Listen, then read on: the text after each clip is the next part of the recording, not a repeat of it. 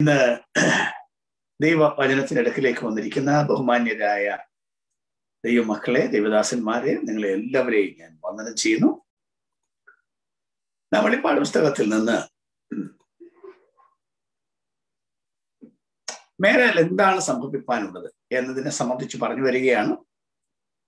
യേശു ക്രിസ്തു വരുന്നതിന്റെ ഏറ്റവും പ്രധാനപ്പെട്ട ഉദ്ദേശം ദൈവരാജ്യം അഖിലാണ്ടം മുഴുവൻ സ്ഥാപിക്കുക ഭൂമിയിൽ സ്ഥാപിക്കുക എന്നുള്ളതാണെന്നും അതൊരു ദീർഘമായ പ്രോസസ്സാണെന്നും ആ പ്രോസസ് എങ്ങനെ നടപ്പാക്കും എന്നതിനെ സംബന്ധിച്ചും പറഞ്ഞു തുടങ്ങി.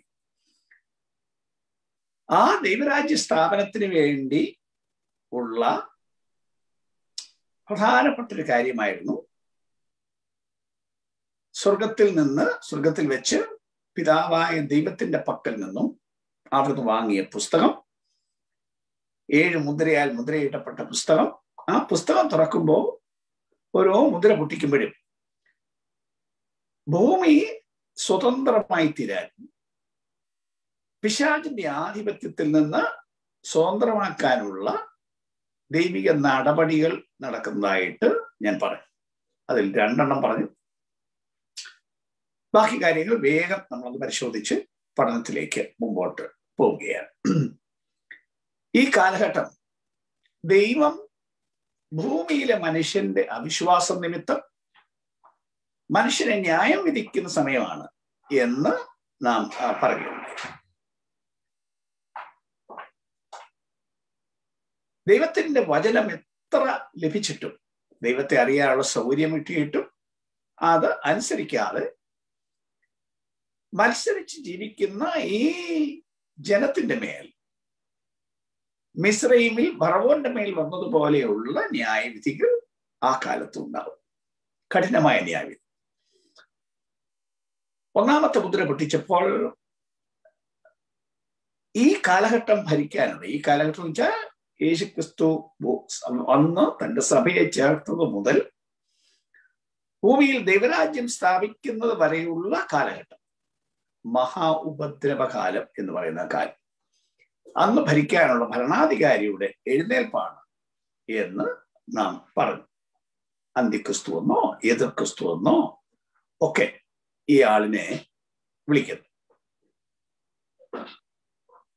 അത് കഴിഞ്ഞ് രണ്ടാമത്തെ മുദ്ര പൊട്ടിച്ചപ്പോ ഭൂമിയിൽ നിന്ന് സമാധാനം എടുത്തു കളയുന്ന ഒരു ദൈവപ്രവൃത്തിയാണ് നമ്മൾ കണ്ടത്. ഭൂമിയിൽ നഗലാണ്ടത്തിൽ സമാധാനം മക്കൾ അങ്ങനെ മനസ്സിലാക്കി കൊല്ലാൻ തുടങ്ങി. ലോകത്തിൽ എങ്ങും സമാധാനമില്ലാതെ ജീവിക്കാൻ മേലാത്ത അന്തരീക്ഷം ലോകവ്യാപകമുണ്ടാകും ഇനി തുറന്നുള്ള കാര്യങ്ങളിലേക്ക് ഞാൻ പറഞ്ഞതുപോലെ നാം വേഗം ഒന്ന് പ്രവേശിക്കുകയാണ്. ആറാം അധ്യായത്തിൽ. അതിന്റെ അഞ്ചാം വാക്യവും ആറാം വാക്യവും. നാം ഇങ്ങനെയാണ് വായിക്കുന്നത്. മൂന്നാം മുദ്ര പൊട്ടിച്ചപ്പോൾ വരിക എന്ന് മൂന്നാം ജീവി പറയുന്നത് ഞാൻ കേട്ടു. സ്വർഗത്തിലെ ആ നാല് ജീവികളിൽ മൂന്നാമത്തെ ജീവി. അപ്പോൾ ഞാൻ ഒരു കറുത്ത കുതിരയെ കണ്ടു. അതിന്മേൽ ഇരിക്കുന്നവൻ ഒരു തുലാസ് കയ്യിൽ പിടിച്ചിരിക്കുന്നു. ത്രാസ് ഒരു ബാലൻസ്. സാധനങ്ങൾ തൂക്കി കൊടുക്കാനുള്ള തുലാസ്. ഒരു പണത്തിന് ഒരിടങ്ങഴി ഗോതമ്പ് ഒരു പണത്തിന് മൂന്നിടങ്ങഴി യവം. എന്നാൽ എണ്ണയ്ക്ക് വീഞ്ഞിന് കീട് കേട് വരുത്തരുത് എന്ന നാല് ജീവികളുടെയും നടുവിൽ നിന്ന് ഒരു ശബ്ദം ഞാൻ കേട്ടു. ഇതാണ് മൂന്നാമത്തെ കുതിര പൊട്ടിച്ചപ്പോൾ സംഭവിച്ചത്. നമ്മൾ പറഞ്ഞു ഇതെല്ലാം മേലാൽ സംഭവിപ്പാനുള്ളതാണ്. അക്ഷരികമായി സംഭവിപ്പാനുള്ള കാര്യമാണ്. ഒരു കറുത്ത കുതിര കറുപ്പ് ദുഃഖത്തിന്റെ അടയാളമാണല്ലോ. അപ്പോൾ കറുത്ത കുതിരയുടെ പുറത്തിരിക്കുന്ന അയാൾ ത്രാസ് കയ്യിൽ പിടിച്ചിരിക്കുന്നു. സാധനം തൂക്കി വിൽക്കുകയാണ്. എന്ത് വിലയ്ക്ക് വിൽക്കണമെന്ന് സ്വർഗത്തിൽ നിന്ന് തന്നെ അരുളപ്പാടുണ്ടായി. ഒരു പണത്തിന് ഒരിടങ്ങഴി ഗോതമ്പ് ഒരു പണത്തിന് മൂന്നിടങ്ങഴി യവ. അതാണ് വില വിവരം അത് അന്നത്തെ ഭാഷയിൽ ആണ് പറഞ്ഞിരിക്കുന്നത്. ഇന്ന് നമുക്ക് ആ ഭാഷ മനസ്സിലാവില്ല. അതുകൊണ്ട് എന്താണ് ഈ പറഞ്ഞതിന്റെ അർത്ഥം എന്ന് ഞാൻ ഒന്ന് ചൂണ്ടിക്കാട്ടാം. പണം എന്നവിടെ പറഞ്ഞിരിക്കുന്നത് അന്നത്തെ കാലത്തുള്ള ഒരു റോമൻ നാണയമാണ്. ആ നാണയത്തിന് ടിനേറിയസ് എന്ന് പറയും. ഡിനേറിയസ് എന്നത് ഒരു മനുഷ്യൻ ഒരു ദിവസം ജോലി ചെയ്താൽ കിട്ടുന്ന കൂലിയാണ്. അപ്പൊ ഒരാൾ ഒരു ദിവസം ജോലി ചെയ്താൽ കിട്ടുന്ന ശമ്പളം കൊണ്ട് ഒരിടങ്ങഴി ഗോതമ്പ് അല്ലെങ്കിൽ മൂന്നിടങ്ങഴിയവ ഇടങ്ങഴി എന്നതും ഇന്നത്തെ നമ്മുടെ അളവല്ല. എന്നാൽ ഇടങ്ങഴി എന്ന് പറയുന്നത് അന്നത്തെ കാലത്ത് ഉപയോഗമനുസരിച്ച് പുറപ്പാട് പുസ്തകം പതിനാറാം അധ്യായം അതിന്റെ പതിനാറാം വാക്യം വായിച്ചു നോക്കിയാൽ ഒരു മനുഷ്യന് ഒരു ദിവസത്തെ ആഹാരം ദൈവം കൊടുത്തതാണ് ഒരിടം മന്ന. ഓരോരുത്തർക്ക് ഓരോ ഇടങ്ങഴി മന്ന. അവരവർക്ക് കഴിക്കാനുള്ള ആഹാരം. അപ്പൊ ഒരു മനുഷ്യന്റെ ഒരു ദിവസത്തേക്കുള്ള ആഹാരമാണ്. ആ ആഹാരം കിട്ടാൻ. അത് ഗോതമ്പ് വേണമെങ്കിൽ ഒരു ഇടങ്ങഴിയെ കിട്ടൂ ഒരാൾക്ക് കഴിക്കാനുള്ളതേ കിട്ടൂ. എന്നാൽ ഗോതമ്പ് വേണ്ട കുറെ കുറഞ്ഞ ധാന്യമായ യവ മതിയെന്ന് വെച്ചാൽ മൂന്നിടങ്ങഴി വാങ്ങാം. അപ്പോ ഭാര്യയ്ക്കും ഒരു കുട്ടിക്കും കൂടെ കൊടുക്കാം. പക്ഷെ വേറെ ഒന്നും വാങ്ങാൻ പണമില്ല. പച്ചക്കറി വാങ്ങാനോ മറ്റ് സാധനങ്ങൾ വാങ്ങാനോ മത്സ്യമോ മാംസമോ ഒന്നും വാങ്ങാൻ തികയില്ല. കഷ്ടിച്ച് ഈ ഗോതമ്പ് വാങ്ങാം എന്ന് പറഞ്ഞാൽ ഒരു വലിയ ക്ഷാമം ലോകത്തിലുണ്ടാവും. എന്നാണ് ആ പറയുന്നതിന്റെ അർത്ഥം. ഇത് ലോകം മുഴുവനുള്ള സ്ഥിതിയാണ്. ഇതിനാണ് ഒരു സർക്കാരിനെ കൊണ്ടുവന്നത്. ഒരു ദേശത്ത് ക്ഷാമമാണ്. അതുകൊണ്ട് വേറൊരു രാജ്യത്ത് പോയി നന്ദി അനുഭവിക്കാം. മെച്ചമായി ജീവിക്കാം എന്ന് ചിന്തിക്കാൻ പറ്റില്ല. ഇപ്പൊ നമ്മൾ നിങ്ങൾ പലരും പല പല രാജ്യങ്ങൾ ഈ മീറ്റിംഗ് നടത്തുന്ന കാനഡയിലുള്ള സഭയാണ് അവിടെയുള്ള ഈ ഇന്ത്യക്കാരെല്ലാം മെച്ചമായ ഒരു ജീവിതത്തിന് വേണ്ടി കാനഡയ്ക്ക് പോയത്. ഇതേ സൗകര്യം നാട്ടിലുണ്ടായിരുന്നെങ്കിൽ നമ്മൾ നാട്ടിലെ ജീവിക്കും അപ്പൊ മെച്ചമായ സൗകര്യങ്ങൾക്ക് വേണ്ടി പോയ ഇന്നത്തെ സ്ഥിതി അന്നൊക്കില്ല. കാരണം ഒരു സർക്കാർ ലോകത്തെല്ലായിടത്തും ഒരു ശമ്പളം ഒരു വ്യവസ്ഥിതി മൊത്തം ഒരേ സിസ്റ്റമാണ് അപ്പൊ ഒരു ഭയങ്കര ക്ഷാമം ലോകത്തിൽ വരും. മനുഷ്യൻ ക്ഷാമം കൊണ്ട് മരിക്കും. ദൈവത്തോട് പിണങ്ങി മനുഷ്യൻ ജീവിക്കാം എന്ന് വിചാരിച്ചാൽ അത്യുൽപാദന ശേഷിയുള്ള വിത്തും ഒക്കെ മനുഷ്യൻ ഉണ്ടാക്കാം. പക്ഷേ അതിന് വെള്ളമൊഴിക്കണമെങ്കിൽ ദൈവം വരണമല്ലോ? ദൈവത്തിന്റെ മഴ വേണമല്ലോ? അപ്പൊ അങ്ങനെ അഖിലാന്തം മുഴുവൻ ഒരു ക്ഷാമത്തിലേക്ക് പോകും. അന്ന് മഴ കൊടുക്കാൻ ദൈവത്തിന് ബാധ്യസ്ഥതയില്ല. കാരണം നല്ലവരുടെ മേലും ദുഷ്ടന്മാരുടെ മേലും ഇന്ന് ദൈവം മഴ പെയ്യ്ക്കുന്നു. കാരണം ലോകത്തിന്റെ ഉപ്പായ ഒരു കൂട്ടം ജനം ഇവിടെ താമസമുണ്ട്. ദൈവ ജനത്തെ പോഷിപ്പിക്കുന്ന കൂട്ടത്തിൽ ലോകത്തിൽ ബാക്കിയുള്ളവർക്കും ദൈവം ഇത് കൊടുക്കും. എന്നാൽ ദൈവത്തിന്റെ ജനത്തെ ഇവിടുന്ന് എടുത്തു കഴിഞ്ഞാൽ പിന്നെ ഇത് കൊടുക്കാൻ ദൈവത്തിന് ഒരു ബാധ്യസ്ഥതയില്ല. അപ്പൊ അങ്ങനെ കഠിനമായ ക്ഷാമത്തിലൂടെ കടന്നുപോകും എന്നാണ് ഇവിടെ പറഞ്ഞിരിക്കുന്നത്. അടുത്തത് ആറാം അധ്യായത്തിന്റെ ഏഴും എട്ടും വാക്യങ്ങളിൽ നാലാം മുദ്ര പൊട്ടിക്കുന്നതിനെ സംബന്ധിച്ച് രേഖപ്പെടുത്തിയിരിക്കുന്നു. നാലാം മുദ്ര പൊട്ടിച്ചപ്പോൾ വരിക എന്ന് നാലാം ജീവി പറയുന്നത് ഞാൻ കേട്ടു. നാല് ജീവികളാണല്ലോ ഉള്ളത്. നാലാം ജീവി പറയും. അപ്പോൾ ഞാൻ മഞ്ഞ നിറമുള്ള ഒരു കുതിരയെ കണ്ടു. അതിന്മേൽ ഇരിക്കുന്നവൻ മരണം എന്നു പേർ പാതാളം അവനെ പിന്തുടർന്നു.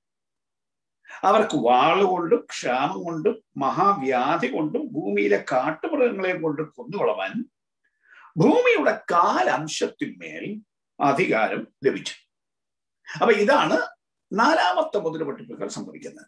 ഒരു മഞ്ഞക്കുതിര വരുന്നു. അതിന്റെ പുറത്തിൽ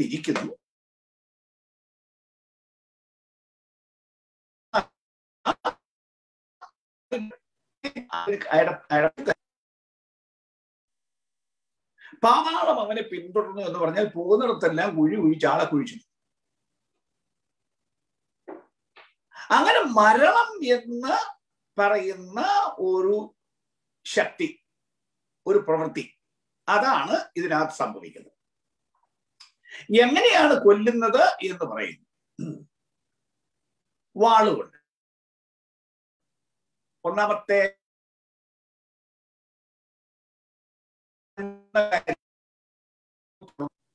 രണ്ടാമത് ക്ഷാമം. അതാണ് ഇപ്പൊ നമ്മൾ പറഞ്ഞത്. ആ ക്ഷാമവും തുടരും. സാധാരണ ക്ഷാമത്തിന്റെ പരിണത ഫലമാണ് പകർച്ചവ്യാധികൾ. കാരണം കിട്ടുന്ന എന്ത് മനുഷ്യൻ കഴിക്കും? അങ്ങനെ പകർച്ചവ്യാധി. പകർച്ചവ്യാധി എന്ന് പറയുമ്പോൾ ഇന്നത്തെ കാലത്ത് നമുക്ക് നല്ലപോലെ തിരിയും. ലോകം മുഴുവൻ പകർച്ചവ്യാധി വരുന്നത് എങ്ങനെയാണ്? എന്ന് കണ്ട് അതിന്റെ ഭീകരതയുടെ നടുവിൽ ജീവിക്കുന്നവരാണ് നമ്മൾ. അങ്ങനെ പകർച്ചവ്യാധി. ധാരാളം ആളുകൾ മരിക്കും. പകർച്ചവ്യാധി മാത്രമല്ല കാട്ടിലെ മൃഗങ്ങളെ കൂടെ കൂടെ ദൈവം നാട്ടിലേക്ക് അയക്കും. കാട്ടിൽ മൃഗങ്ങൾ ഇന്ന് കിടക്കുന്നത് മനുഷ്യനെ പേടിച്ചിട്ടൊന്നും കാട്ടി കിടക്കുകയല്ല. പുറത്തോട്ട് വരാൻ ദൈവം അനുവാദം കൊടുക്കാത്തത് കൊണ്ട് കാട്ടി കിടക്കുന്നു എന്നുള്ളതേ ഉള്ളൂ. ചില സന്ദർഭങ്ങളിൽ കാട്ടുമൃഗങ്ങൾ നാട്ടിലിറങ്ങി മനുഷ്യരെ വല്ലാതെ ഉപദ്രവിച്ച ദേശങ്ങളിൽ പട്ടണങ്ങൾ പോലും ഉണ്ട്. അപ്പൊ അങ്ങനെ കാട്ടുമൃഗങ്ങളെ കൊണ്ടുവരും. പ്രത്യേകിച്ച് ഇന്നത്തെ ലോകത്തിന്റെ വ്യവസ്ഥിതി അനുസരിച്ചാണെങ്കിൽ പല രാജ്യങ്ങളിലും ഒരു കാട്ടുമൃഗങ്ങളെയും കൊല്ലാൻ പാടില്ല. ഒരു ജന്തുവിനെയും കൊല്ലാൻ പാടില്ല. മനുഷ്യനെ കൊന്നാലും ജന്തുക്കളെ കൊല്ലാൻ പാടില്ല എന്നൊരു ശാസ്ത്രമാണ് ഇന്നത്തെ ലോകത്തിൽ. അതിനെല്ലാം സൂക്ഷിക്കണം. എന്തിനാണ് ഇങ്ങനെയുള്ള നിയമങ്ങൾ ഉണ്ടാക്കുന്നതെന്ന് സർക്കാരിന് അറിയില്ലായിരിക്കാം. പക്ഷെ അന്നാളിൽ മനുഷ്യനെ കൊല്ലാൻ ഇവയെല്ലാം വേണം. അങ്ങനെ ഇവയെ കൊണ്ടുവന്നിട്ട് ഈ ഒരു ബാധ നിമിത്തം ലോക ജനസംഖ്യയുടെ നാലിലൊന്നാണ് കൊല്ലപ്പെടുന്നത്. ഭൂമിയുടെ കാലംശത്തിന്മേൽ അധികാരം ലഭിച്ചു. അപ്പൊ ഈ ഒറ്റ ന്യായം തന്നെ ജനസംഖ്യയുടെ നാലിൽ ഒന്നിനെ കൊന്നുകളെ അങ്ങനെ ഭീകരമായ അന്തരീക്ഷം മനുഷ്യന് ഭൂമിയിൽ പൊറുക്കാൻ മേലാത്ത സ്ഥിതി ഉണ്ടാവും. അഞ്ചാമത്തെ മുദ്ര പൊട്ടിച്ചു. അഞ്ചാം മുദ്ര പൊട്ടിച്ചപ്പോൾ ഒമ്പത് മുതലുള്ള വാക്യങ്ങൾ. ദൈവവചന നിമിത്തവും തങ്ങൾ പറഞ്ഞ സാക്ഷ്യം ഹേതുവായും അറുക്കപ്പെട്ടവരുടെ ആത്മാക്കളെ ഞാൻ ഈ യാഗപീഠത്തിന് കീഴിൽ കണ്ടു. നോക്കണം അറുക്കപ്പെട്ടവരുടെ ആത്മാക്കളെ ഞാൻ ഈ യാഗപീഠത്തിന്റെ കീഴിൽ കണ്ടു. ദൈവവചനവും നിമിത്തവും തങ്ങൾ പറഞ്ഞ സാക്ഷ്യം ഹേതുവായും അറുക്കപ്പെട്ടവരുടെ ആത്മാക്കൾ. ഇവരാരാണ് എന്നൊരു ചോദ്യം ഉണ്ടാവും. കാരണം യേശുക്രിസ്തുവിന്റെ സത്യസഭ പോയി കഴിഞ്ഞു. മരിച്ചവരിൽ നിന്ന് ഉയർത്തെഴുന്നേറ്റ് അവർ പോയി. പിന്നാലാണ് ഈ അറുക്കപ്പെട്ടവരുടെ ആത്മാക്കൾ. യേശുക്രിസ്തുവിന്റെ ഈ സത്യസഭ പോയാലും വിശ്വാസികൾ എന്ന് പറഞ്ഞ് എല്ലാവരും പോവില്ല. സുവിശേഷം കേട്ട എല്ലാവരും പോവില്ല. പാസന്മാരോ നേതാക്കന്മാരോ ഒക്കെ ഇവിടെ കടന്നു വരാം. എന്നാലും ദൈവത്തിന്റെ ജനം പോയി കഴിയുമ്പോൾ പെട്ടെന്ന് ലോകത്തിന് അത് ബോധ്യമാവും. കാരണം വളരെ ഭക്തിയോട് ജീവിച്ച ആളുകളെ കാണാനില്ല. പെട്ടെന്നാണ് അവരുടെ എടുക്കപ്പെടില്ല പടമെടുക്കാനൊന്നും നേരം കിട്ടിയോ എന്ന് തോന്നുന്നില്ല. കണ്ണ് വെക്കുന്നതിനിടയിൽ എന്നാണ് കുരുന്തിലേഖനത്തിൽ നമ്മൾ വായിക്കുന്നത്. അപ്പൊ ഈ ആളുകളെ കാണാതെ വരുമ്പോൾ ആളുകൾക്ക് അറിയാം പെട്ടെന്ന് മനസ്സിലാക്കും സുവിശേഷം അറിയാവുന്നവർ മനസ്സിലാക്കും യേശു വന്നു തന്റെ ആളുകൾ പോയി. അപ്പോഴത്തേക്ക് പോകാത്ത ആളുകൾ ഇവിടെ നിലവിളിയായി. ഇനിയും ബാക്കിയെല്ലാം സംഭവിക്കും. ഇതൊന്നും ഇപ്പൊ സംഭവിക്കില്ല എന്ന് പറഞ്ഞൊക്കെ ഉറങ്ങിയും മയങ്ങിയും ലോകത്തിന്റെ മോഹങ്ങളിലും ഒക്കെ ജീവിക്കുന്നവരാ. പക്ഷേ ഈ സംഭവം കണ്ടു കഴിയുമ്പോഴത്തേക്ക് എങ്ങനെ ഇനിയും രക്ഷപ്പെട്ടേ പറ്റുള്ളൂ അല്ലെങ്കിൽ പതാളമാണെന്ന് അറിയാം അങ്ങനെ അവർ അങ്ങ് ജീവിക്കാൻ തീരുമാനിക്കും. അന്ന് രക്ഷയ്ക്ക് അവസരം ഉണ്ടോ എന്ന് ചോദിച്ചാൽ സുശീല പ്രസംഗിക്കാനൊന്നും ആരും വരുന്നില്ല.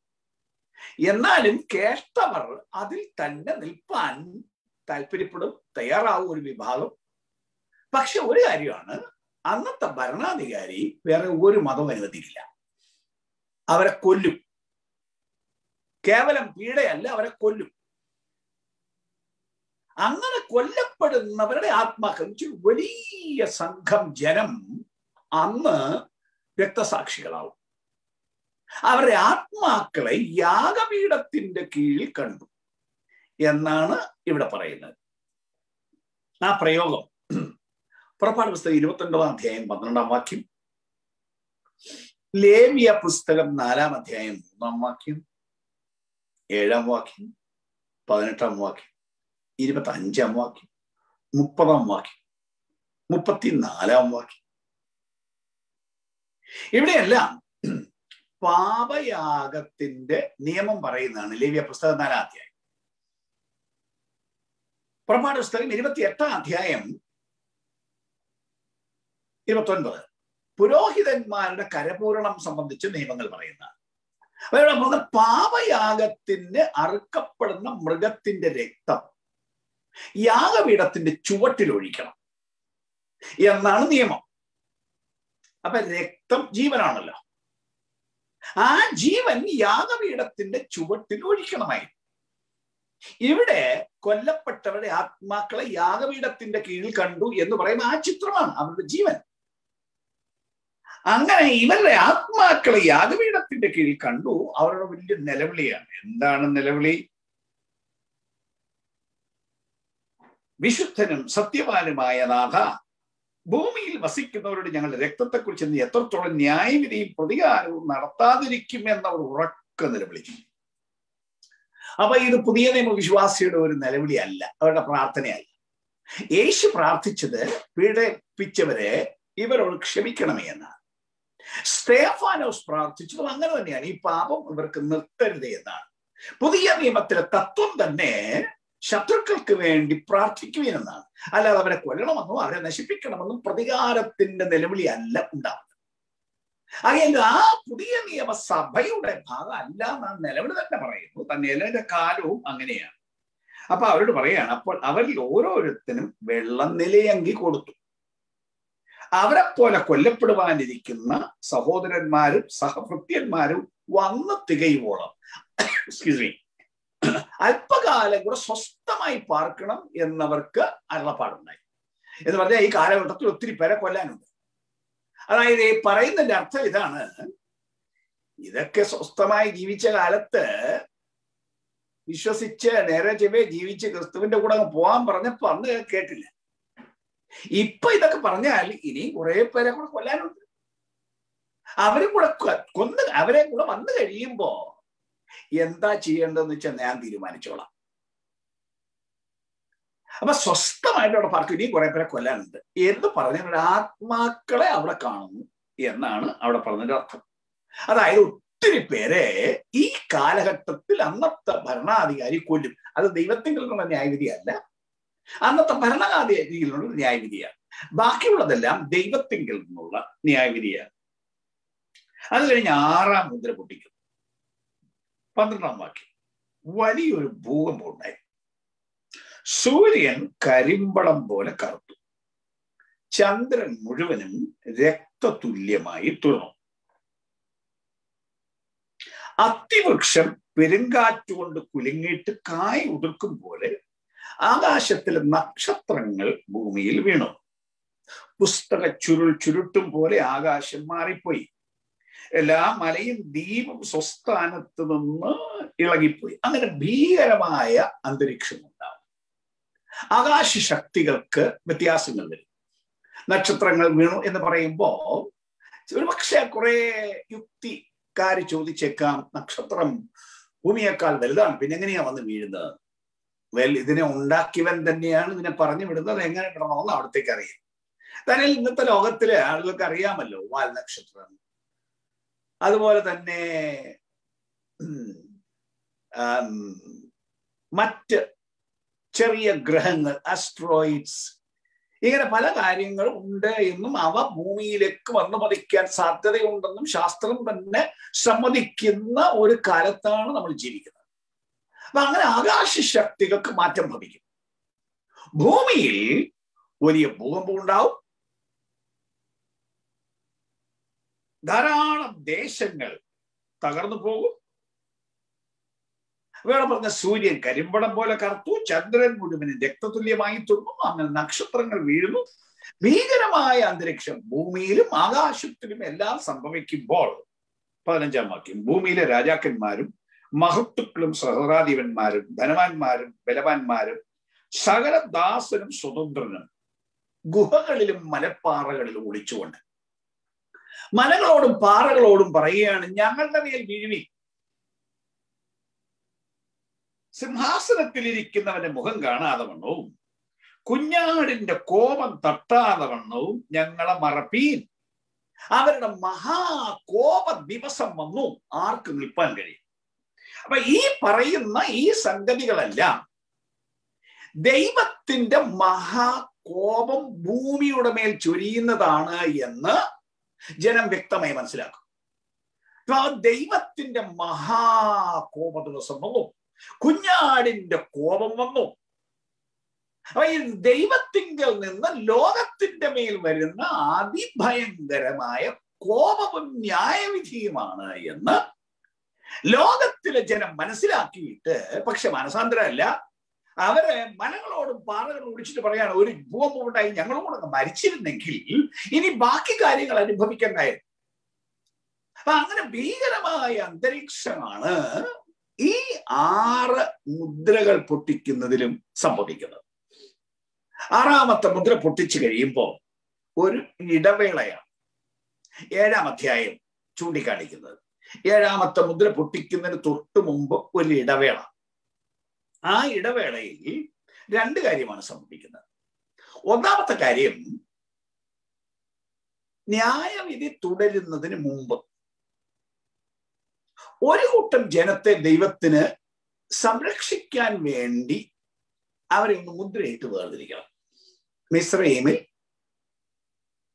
കുഞ്ഞാടിന്റെ രക്തത്താൽ ഒരു കൂട്ടം ജനത്തെ സംഹാരദൂതനിൽ നിന്ന് രക്ഷിച്ചതുപോലെ ദൈവത്തിന്റെ ന്യായവിധിയിൽ നിന്ന് വിടുവിക്കാൻ. ഒരു കൂട്ടരെ മുദ്രയിട്ട് വേർതിരിക്കണം. അതാണ് ഏഴാം അധ്യായത്തിലെ ആദ്യത്തെ പാരഗ്രാഫ് പറയുന്നത്. ഇസ്രയേലിലെ സകല ഗോത്രങ്ങളിൽ നിന്നും ഓരോ ഗോത്രത്തിൽ നിന്ന് പന്തിരായിരം വീതം പന്ത്രണ്ട് ഗോത്രത്തിൽ നിന്ന് ഒരു ലക്ഷത്തി നാൽപ്പത്തി നാലായിരം പേരെ മുദ്രയിട്ട് ദൈവം വേർതിരിച്ചു നിർത്തും ആ മുദ്ര ഉദ്ദേശം ഒന്നുകൂടെ പറയുന്നു. വാക്യങ്ങൾ പിന്നെ വരും. വരാനുള്ള ദൈവ ന്യായവിധി അവരുടെ മേൽ പതിക്കരുത്. ഭരണാധികാരിയുടെ ന്യായവിധി അവരുടെ മേൽ വരാം. പക്ഷെ ഇത് പ്രധാനമായും ദൈവ ന്യായവിധിയാണല്ലോ അപ്പൊ ആ ദൈവ ന്യായവിധി മിശ്രൈമിൽ സംഹാരദൂതൻ തൊടായിരിക്കാൻ വേണ്ടിയായിരുന്നു. ദൈവമയച്ച് സംഹാരദൂതൻ തൊടായിരിക്കാൻ അതുപോലെ ന്യായവിധിയിൽ നിന്ന് രക്ഷിക്കാൻ വേണ്ടി ഒരു കൂട്ടരെ നൂറ്റി നാൽപ്പത്തിനാലായിരം പേരെ മുദ്രയിട്ട് വേർതിരിക്കുന്നതാണ് ഒന്നാം ഭാഗം. രണ്ടാം ഭാഗം അടുത്ത പാരഗ്രാഫ് നമ്മൾ വായിക്കുന്നത് സർവഗോത്രത്തിൽ നിന്നും ഭാഷയിൽ നിന്നും വംശത്തിൽ നിന്നും ജാതിയിൽ ഉള്ളതായി ആർക്കും എണ്ണിക്കൂടാത്തൊരു മഹാപുരുഷാരം. വെള്ള നിലയങ്കി ധരിച്ച് കണ്ടില്ലേ? അഞ്ചാം മുദ്ര പൊട്ടിച്ചപ്പോ വെള്ള നിലയങ്കി കൊടുത്തു എന്ന് പറയുന്നില്ലേ വലിയൊരു കൂട്ടം ആളുകൾ കൊല്ലപ്പെട്ടില്ലേ? അങ്ങനെ വെള്ള നിലയങ്കി ധരിച്ച് കയ്യിൽ കുരുത്തോലയുമായി ഒരു കൂട്ടം ആളുകൾ സിംഹാസനത്തിനും കുഞ്ഞാടിനും മുമ്പാകെ നിൽക്കുന്നത് ഞാൻ കണ്ടു. അപ്പൊ നോക്ക് സിംഹാസനത്തിനും കുഞ്ഞാടിനും മുമ്പാകെ എന്ന് പറയുമ്പോൾ ആ വേദി സ്വർഗമാണല്ലോ നാലാം അധ്യായത്തിൽ ഈ സിംഹാസനം കണ്ടത് ഈ കുഞ്ഞാടിനെ കണ്ടത് സ്വർഗത്തിലാണ് അപ്പൊ ഈ കൂട്ടർ അതോടെ ഉയർത്തെഴുന്നേറ്റു. അവർ സ്വർഗത്തിലേക്ക് പോകുന്നു. ആ പീഡയുടെ ആ കാലം വന്ന് തികയാനുള്ളവർ തികഞ്ഞു. എന്നിട്ട് അവരെ സ്വർഗത്തിൽ കാണുന്ന കാഴ്ചയാണ് രണ്ടാം പാരഗ്രാഫ്. അത് കഴിഞ്ഞിട്ട് എട്ടാം അധ്യായത്തിലേക്ക് വരുമ്പോ അവിടെ ഏഴാമത്തെ കാഹളം ഊതുകയാണ്. നോക്കൂ. അവൻ ഏ സോറി മുദ്ര പൊട്ടിക്കും. ഏഴാമത്തെ മുദ്ര പൊട്ടിച്ചപ്പോൾ സ്വർഗത്തിൽ ഏകദേശം അരമണിക്കൂർ നേരം മൗനതയുണ്ടായി. ഒന്നാലോചിച്ച് നോക്കൂ അതെ.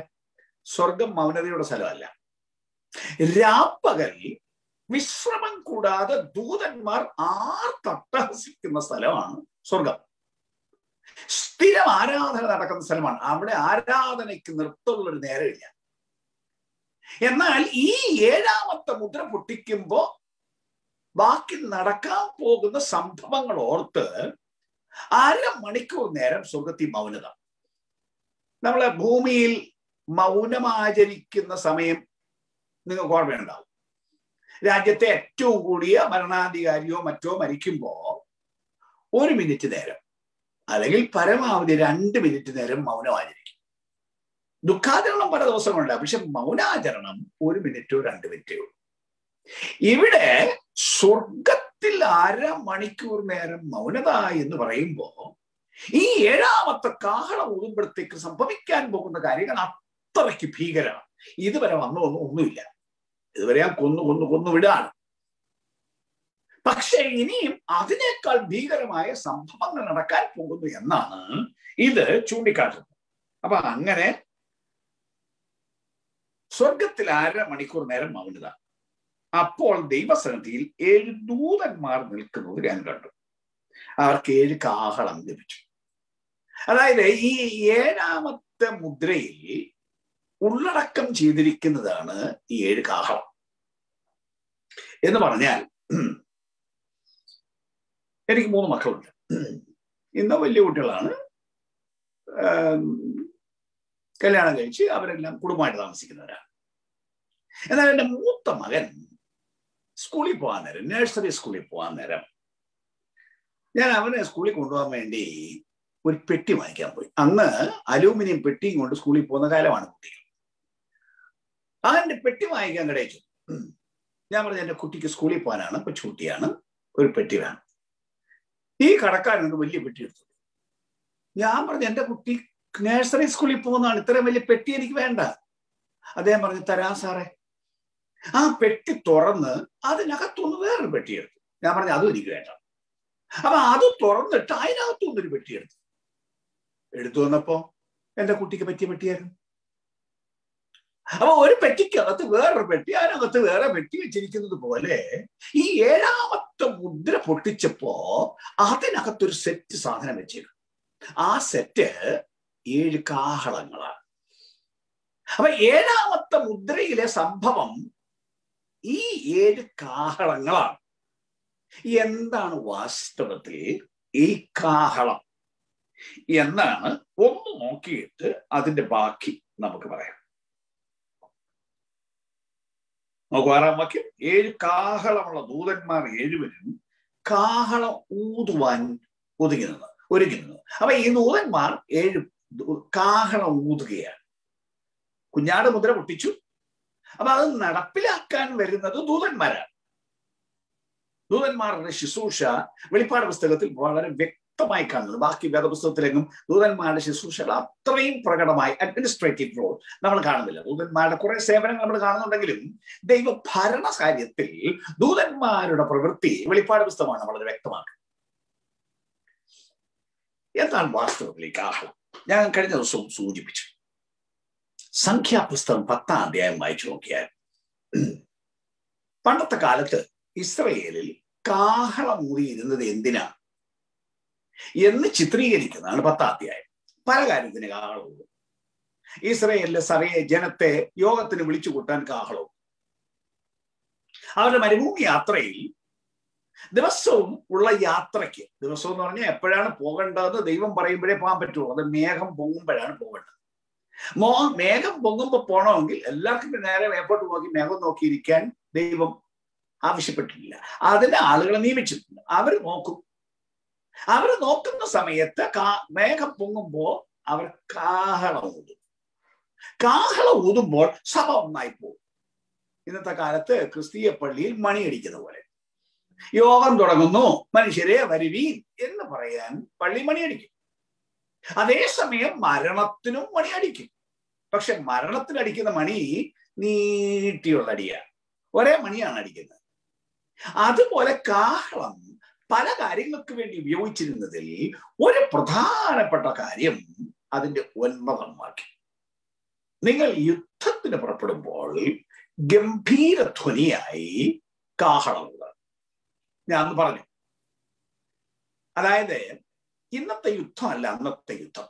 ഇന്ന് പറഞ്ഞിട്ടുള്ളൊന്നും അല്ല യുദ്ധം. അടിയാണ് നടത്തുക എന്നുള്ളതാണ്. ഒരു നിരപ്പ് നിര ഒരു നിരത്ത് കഴിയുമ്പോഴേ യുദ്ധമാണെന്ന് ആളുകൾ അറിയത്തുള്ളൂ. രാത്രി പോയി ഒരു പണി ഓർ എയർക്രാഫ്റ്റുകൾ അങ്ങോട്ട് എന്ന് കുറെ നാശം അടുത്ത രാജ്യത്തിന് ചെയ്ത് കളയും. പണ്ടങ്ങനെയല്ല പകലേ യുദ്ധം പറ്റുള്ളൂ. വാൾ കൊണ്ട് വെട്ടണം. അല്ലെങ്കിൽ അമ്പയ്യണം അപ്പൊ അത് പകലെ പറ്റുള്ളൂ. അതിന്റെ ആരെയാണ് ഇത് ഉന്നം വയ്ക്കുന്നത്? ആ ആളിനെ കണ്ടു വേണം പണി ചെയ്യാൻ. അപ്പൊ അങ്ങനെയുള്ള അന്നത്തെ യുദ്ധത്തിന് യുദ്ധം തുടങ്ങാൻ വേണ്ടി സ്റ്റാർട്ട് എന്ന് പറയാൻ കാഹളം ഇവിടെ ദൈവം ഒരു ഏഴ് യുദ്ധം. ഭൂമിയിലെ മനുഷ്യരോട് പ്രഖ്യാപിക്കുകയാണ് ഏഴ് യുദ്ധം. അപ്പൊ ഏഴാമത്തെ മുദ്ര എന്ന് പറയുന്നത് ഏഴ് യുദ്ധങ്ങളാണ്. ഭൂമിയോട് ദൈവം ചെയ്യുന്ന ഏഴ് യുദ്ധങ്ങൾ. എന്താ യുദ്ധം ചെയ്യാൻ കാരണം? ഞാൻ നേരത്തെ പറഞ്ഞതുപോലെ ദൈവത്തിന്റെ രക്ഷ മനുഷ്യർക്ക് ഉണ്ടാക്കി കൊടുത്തു.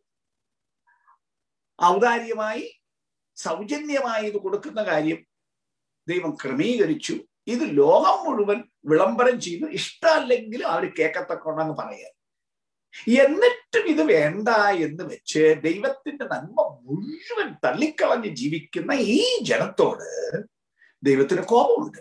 ആ യുദ്ധങ്ങളാണ് ഇവിടെ സംഭവിക്കുന്നത്. ഈ യുദ്ധം ബേസിക്കലി ഞാൻ നേരത്തെ പറഞ്ഞ ഒരു കാര്യം ആവർത്തിച്ചു പറഞ്ഞു ഇനി അത് കൃത്യമായി കാണാം. മിശ്രൈമിൽ പത്ത് ബാധകൾ കൊണ്ട് ജനത്തെ സന്ദർശിച്ചതുപോലെ. ആ ബാധകളുടെ ആവർത്തനമാണ് ഈ ഏഴ് അതേ ബാധകൾ ഇവിടെ ആവർത്തിക്കപ്പെടും. ഓർഡർ അതല്ല എന്ന് മാത്രമേ ഉള്ളൂ. നോക്കാം. ഒന്നാമത്തെ ഊതി അപ്പോൾ രക്തം കലർന്ന കൽമഴയും തീയും ഭൂമിയിൽ ചുരിഞ്ഞിട്ട് ഭൂമിയിൽ മൂന്നിലൊന്ന് വെന്തുപോയി. വൃക്ഷങ്ങളിൽ മൂന്നിലൊന്ന് വെന്തുപോയി. എല്ലാ പച്ചപ്പുല്ലും വെന്തുപോയി. രക്തം കലർന്ന കൽമഴയും തീയും ഭൂമിയിൽ പെയ്തു. മിശ്രീമിലെ ബാധയും ഏഴാമത്തെ ബാധ കൽമഴയായിരുന്നു. പുറപ്പാട് പുസ്തകം ഒൻപതാം അധ്യായം. പത്തൊൻപത് മുതൽ ഇരുപത്തി അഞ്ച് വരെയുള്ള വാക്യങ്ങളിൽ അത് രേഖപ്പെടുത്തിയിരിക്കുന്നു. അപ്പൊ ആ ബാധയാണ് ഇവിടെ തുടങ്ങുന്നത് കൽമഴ കൽമഴ മാത്രമല്ല അതിന്റെ കൂടെ തീ. തീ എന്ന് പറഞ്ഞാൽ മിന്നലില്ലേ? മിന്നൽ ഇലക്ട്രിക് ഷോക്ക് കൂട്ടി ഒരു അടി അടിച്ചു വെച്ചാൽ മതി. അങ്ങനെ മിന്നൽ അല്ലെങ്കിൽ ഇടി വെട്ടി മരം കത്തിപ്പോകുന്നത് മനുഷ്യർ മരിച്ചു പോകുന്നത് കത്തി എരിഞ്ഞു പോകുന്നത് ഒക്കെ കേട്ടിട്ടില്ലേ? ഞാൻ കണ്ടിട്ടുണ്ട് അങ്ങനെ ഒരു സംഭവം. അപ്പൊ അങ്ങനെ ഇടിയും മിന്നലും കൂടെ വന്ന് കൽമഴയും കൂടി വന്ന് ഭൂമിയിൽ മൂന്നിലൊന്ന് വെന്തുപോയി. വൃക്ഷങ്ങളിൽ മൂന്നിലൊന്ന് വെന്തുപോയി. എല്ലാ പച്ചപ്പുല്ലും വെന്തുപോയി. പച്ചപ്പുല്ലും വെന്തുപോയി എന്ന് പറഞ്ഞാൽ ആ സീസണിൽ ചെയ്ത കൃഷി മുഴുവൻ ഈ കൽമഴയിലും തീരും നശിച്ചുപോയി ഒരു സീസന്റെ കൃഷി മൊത്തം. ഓൾറെഡി നേരത്തെ ക്ഷാമം ഉണ്ട് എന്നാൽ അതിനേക്കാൾ ഭയങ്കരമായി ഈ വെജിറ്റേറിയൻ ഫുഡ് മൊത്തം ഇല്ലാതാക്കി. അപ്പൊ ക്ഷാമം അതികഠിനമായി വർദ്ധിക്കേണ്ടതിന് മനുഷ്യന്റെ ബേസിക് നെസസിറ്റീസ് മുടക്കുന്നതാണ് ഈ കാഹളതയായി ബേസിക് നെസസിറ്റീസ് അടിസ്ഥാന ആവശ്യങ്ങൾ. ഭക്ഷണം വായു ആഹാരം ഇങ്ങനെയുള്ള കാര്യങ്ങൾ. അപ്പൊ വെജിറ്റേറിയൻ ഫുഡ് ഇവിടെ മുടക്കി. അടുത്തത് രണ്ടാമത്തവൻ കാഹള ഊതി എട്ടാം വാക്യം. അപ്പോൾ തീ കത്തുന്ന വൻമല പോലെയൊന്ന് സമുദ്രത്തിലേക്ക് എറിഞ്ഞിട്ട് കടലിൽ മൂന്നിലൊന്ന് രക്തമായത് സമുദ്രത്തിൽ പ്രാണനുള്ള സൃഷ്ടികളിൽ മൂന്നിലൊന്ന് ചത്തുപോയി. കപ്പലുകളിലും മൂന്നിലൊന്നിന് ഛേദം വന്നു. ഓർക്കണം മേലാൽ സംഭവിപ്പാനുള്ളത് എന്ന് വചനം പറഞ്ഞിരിക്കുന്ന കാര്യങ്ങളാണ്. These things must take place അതിലെ കാര്യം ഉമ പറയുന്നു. എന്നാൽ ഇവിടെ സംഭവിച്ചത് രക്തം കലർന്ന കൽമഴയും തീയും നോ സോറി തീ കത്തുന്ന വന്മല പോലെ എന്ന് സമുദ്രത്തിലേക്ക് എത്തിയത് കടലിൽ മൂന്നിലൊന്ന് രക്തമായി തീർന്നു അതായത് മിശ്രൈമിലെ ഒന്നാമത്തെ ബാധയാണ് വെള്ളം രക്തമാക്കിയത്. പുറപ്പാട് പുസ്തകം ഏഴാം അധ്യായം പതിനേഴ് മുതൽ പത്തൊൻപത് വരെയുള്ള വാക്യം. നൈൽ നദിയിലെ വെള്ളം വ്യക്തമായി തോന്നി. അതുപോലെ ഇവിടെ സംഭവിച്ചത് കടലിൽ മൂന്നിലൊന്ന് രക്തമായി. അതിന്റെ ഫലമായി മത്സ്യങ്ങൾ സമുദ്രത്തിലെ ജീവജന്തുക്കൾ മൂന്നിലൊന്ന് ചത്തുപോയി. മത്സ്യം മൂന്നിലൊന്ന് ഇല്ലാതായി. മനുഷ്യന്റെ ആഹാരത്തിന്റെ ഒരു പ്രധാന ഭാഗമാണ് ആൾക്ക് ഇഷ്ടമുള്ള ആഹാരമാണ് സീ ഫുഡ് എന്ന് നിങ്ങൾക്കറിയാം. അപ്പൊ അങ്ങനെ ആദ്യം വെജിറ്റേറിയൻ ഇല്ലാതാക്കി ഇവിടെ നോൺ വെജിറ്റേറിയൻ മൂന്നിലൊന്ന് ഇല്ലാതാക്കി മത്സ്യം മൂന്നിലൊന്ന് ഇല്ലാതാക്കി എന്ന് മാത്രമല്ല അത് പറയുമ്പോ ആഹാരമില്ലാതായി എന്ന് മാത്രമല്ല ഈ തൊഴിലും കൊണ്ട് ഉപജീവിക്കുന്ന എന്തുമാത്രം മനുഷ്യർ ഭൂമിയിലുണ്ട്? മീൻപിടുത്തക്കാർ മാത്രമല്ല. അവരത് കരയിൽ കൊണ്ടുവന്നാൽ അതിന് വിൽക്കാൻ എന്തുമാത്രം മനുഷ്യരാണ് ബാക്കി പിന്നെ അങ്ങോട്ട് പോകുന്നത്? അവിടെ നിന്ന് തുടങ്ങി അതിന്റെ ട്രാൻസ്പോർട്ടേഷൻ ഇത് കൊണ്ടുപോയി പല കടകളിൽ വിൽക്കുന്നത് കോൾഡ് സ്റ്റോറേജുകൾ സൂപ്പർ മാർക്കറ്റുകൾ ഇങ്ങനെ ഇവിടെ എല്ലാം വിറ്റ് ഇതുകൊണ്ട് ഉപജീവിക്കുന്ന ധാരാളം മനുഷ്യർ ലോകത്തിലുണ്ട്. അവരിൽ മൂന്നിലൊന്ന് പേരുടെ തൊഴിലുമില്ലാതെയാവും എന്ന് മാത്രമല്ല കപ്പലുകളിൽ മൂന്നിലൊന്നിന് ഛേദം വന്നു പോലും. കപ്പലുകളിൽ മൂന്നിലൊന്നിന് ഛേദം വന്നു എന്ന് പറയുമ്പോൾ ലോകത്തിലെ ചരക്ക് ഗതാഗതം ഏറ്റവും പ്രധാനമായി നടക്കുന്നത് സമുദ്രമാർഗത്തിലാണ്. ചെലവ് കുറഞ്ഞ ട്രാൻസ്പോർട്ടേഷൻ മാർഗം അതാണ്. കമ്പനികളിലേക്ക് സാധനം കൊണ്ടുവരുന്ന പൊതുവെ കപ്പലുകളിലാണ്. അങ്ങനെ വരുമ്പോ ഫാക്ടറികളുടെ കമ്പനികളുടെ പ്രവർത്തനം മൂന്നിലൊന്ന് ബാധിക്കപ്പെടും. അതായത് തൊഴിലവസരങ്ങൾ ഉണ്ടായിരുന്നത് തന്നെ മൂന്നിലൊന്ന് ഇല്ലാതാവും. ഒരു വലിയ മൂന്നിലൊന്ന് തൊഴിലാളികളുടെ തൊഴിൽ നഷ്ടപ്പെടും. ലേ ഓഫ് ഉണ്ടാവും. ഭയങ്കര ക്ഷാമം. ഒരുത്തൻ അധ്വാനിച്ചാൽ തനിക്ക് മാത്രം ഒരു നേരത്തെ ആഹാരം കിട്ടുന്ന സ്ഥിതി. ഇങ്ങനെ മെച്ചമായ ജോലി സൗകര്യങ്ങൾ എല്ലായിടത്തും പോയി വേറെ രാജ്യത്ത് പോയി കണ്ടെത്താൻ പറ്റാത്തതരം ഇവിടെ തൊഴിലവസരങ്ങൾ നഷ്ടപ്പെട്ട് ലോകത്തിന്റെ ഇക്കോണമി സമ്പദ്ഘടന ഒറ്റയടിക്ക് മൂന്നിലൊന്ന് തകരും. ഇത് കമ്പനിക്കാർക്ക് മാത്രമല്ല ഈ ഫാക്ടറികളും കമ്പനികളും പ്രവർത്തിച്ചെങ്കിലല്ലേ സർക്കാരിന് ടാക്സ് കിട്ടുള്ളൂ അപ്പൊ മുഴുവൻ ലോകത്തിന്റെയും സമ്പദ്ഘടന മൂന്നിലൊന്ന് തകർക്കുന്ന ഒരു ന്യായവിധി. നോൺ വെജിറ്റേറിയൻ ഫുഡ് മാത്രമല്ല അങ്ങനെയുള്ളൊരു ന്യായവിധിയാണ് ഈ രണ്ടാമത്തെ ന്യായവിധി. മൂന്നാമത്തെ.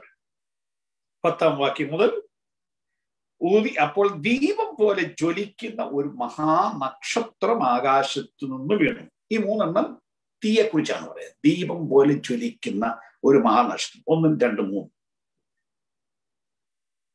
നദികളിൽ മൂന്നിലൊന്നിന്മേലും നീരുറവകളിൽ വിളി വീണത്. അതായത് കുടിവെള്ളത്തെയാണ് ബാധിച്ചത്.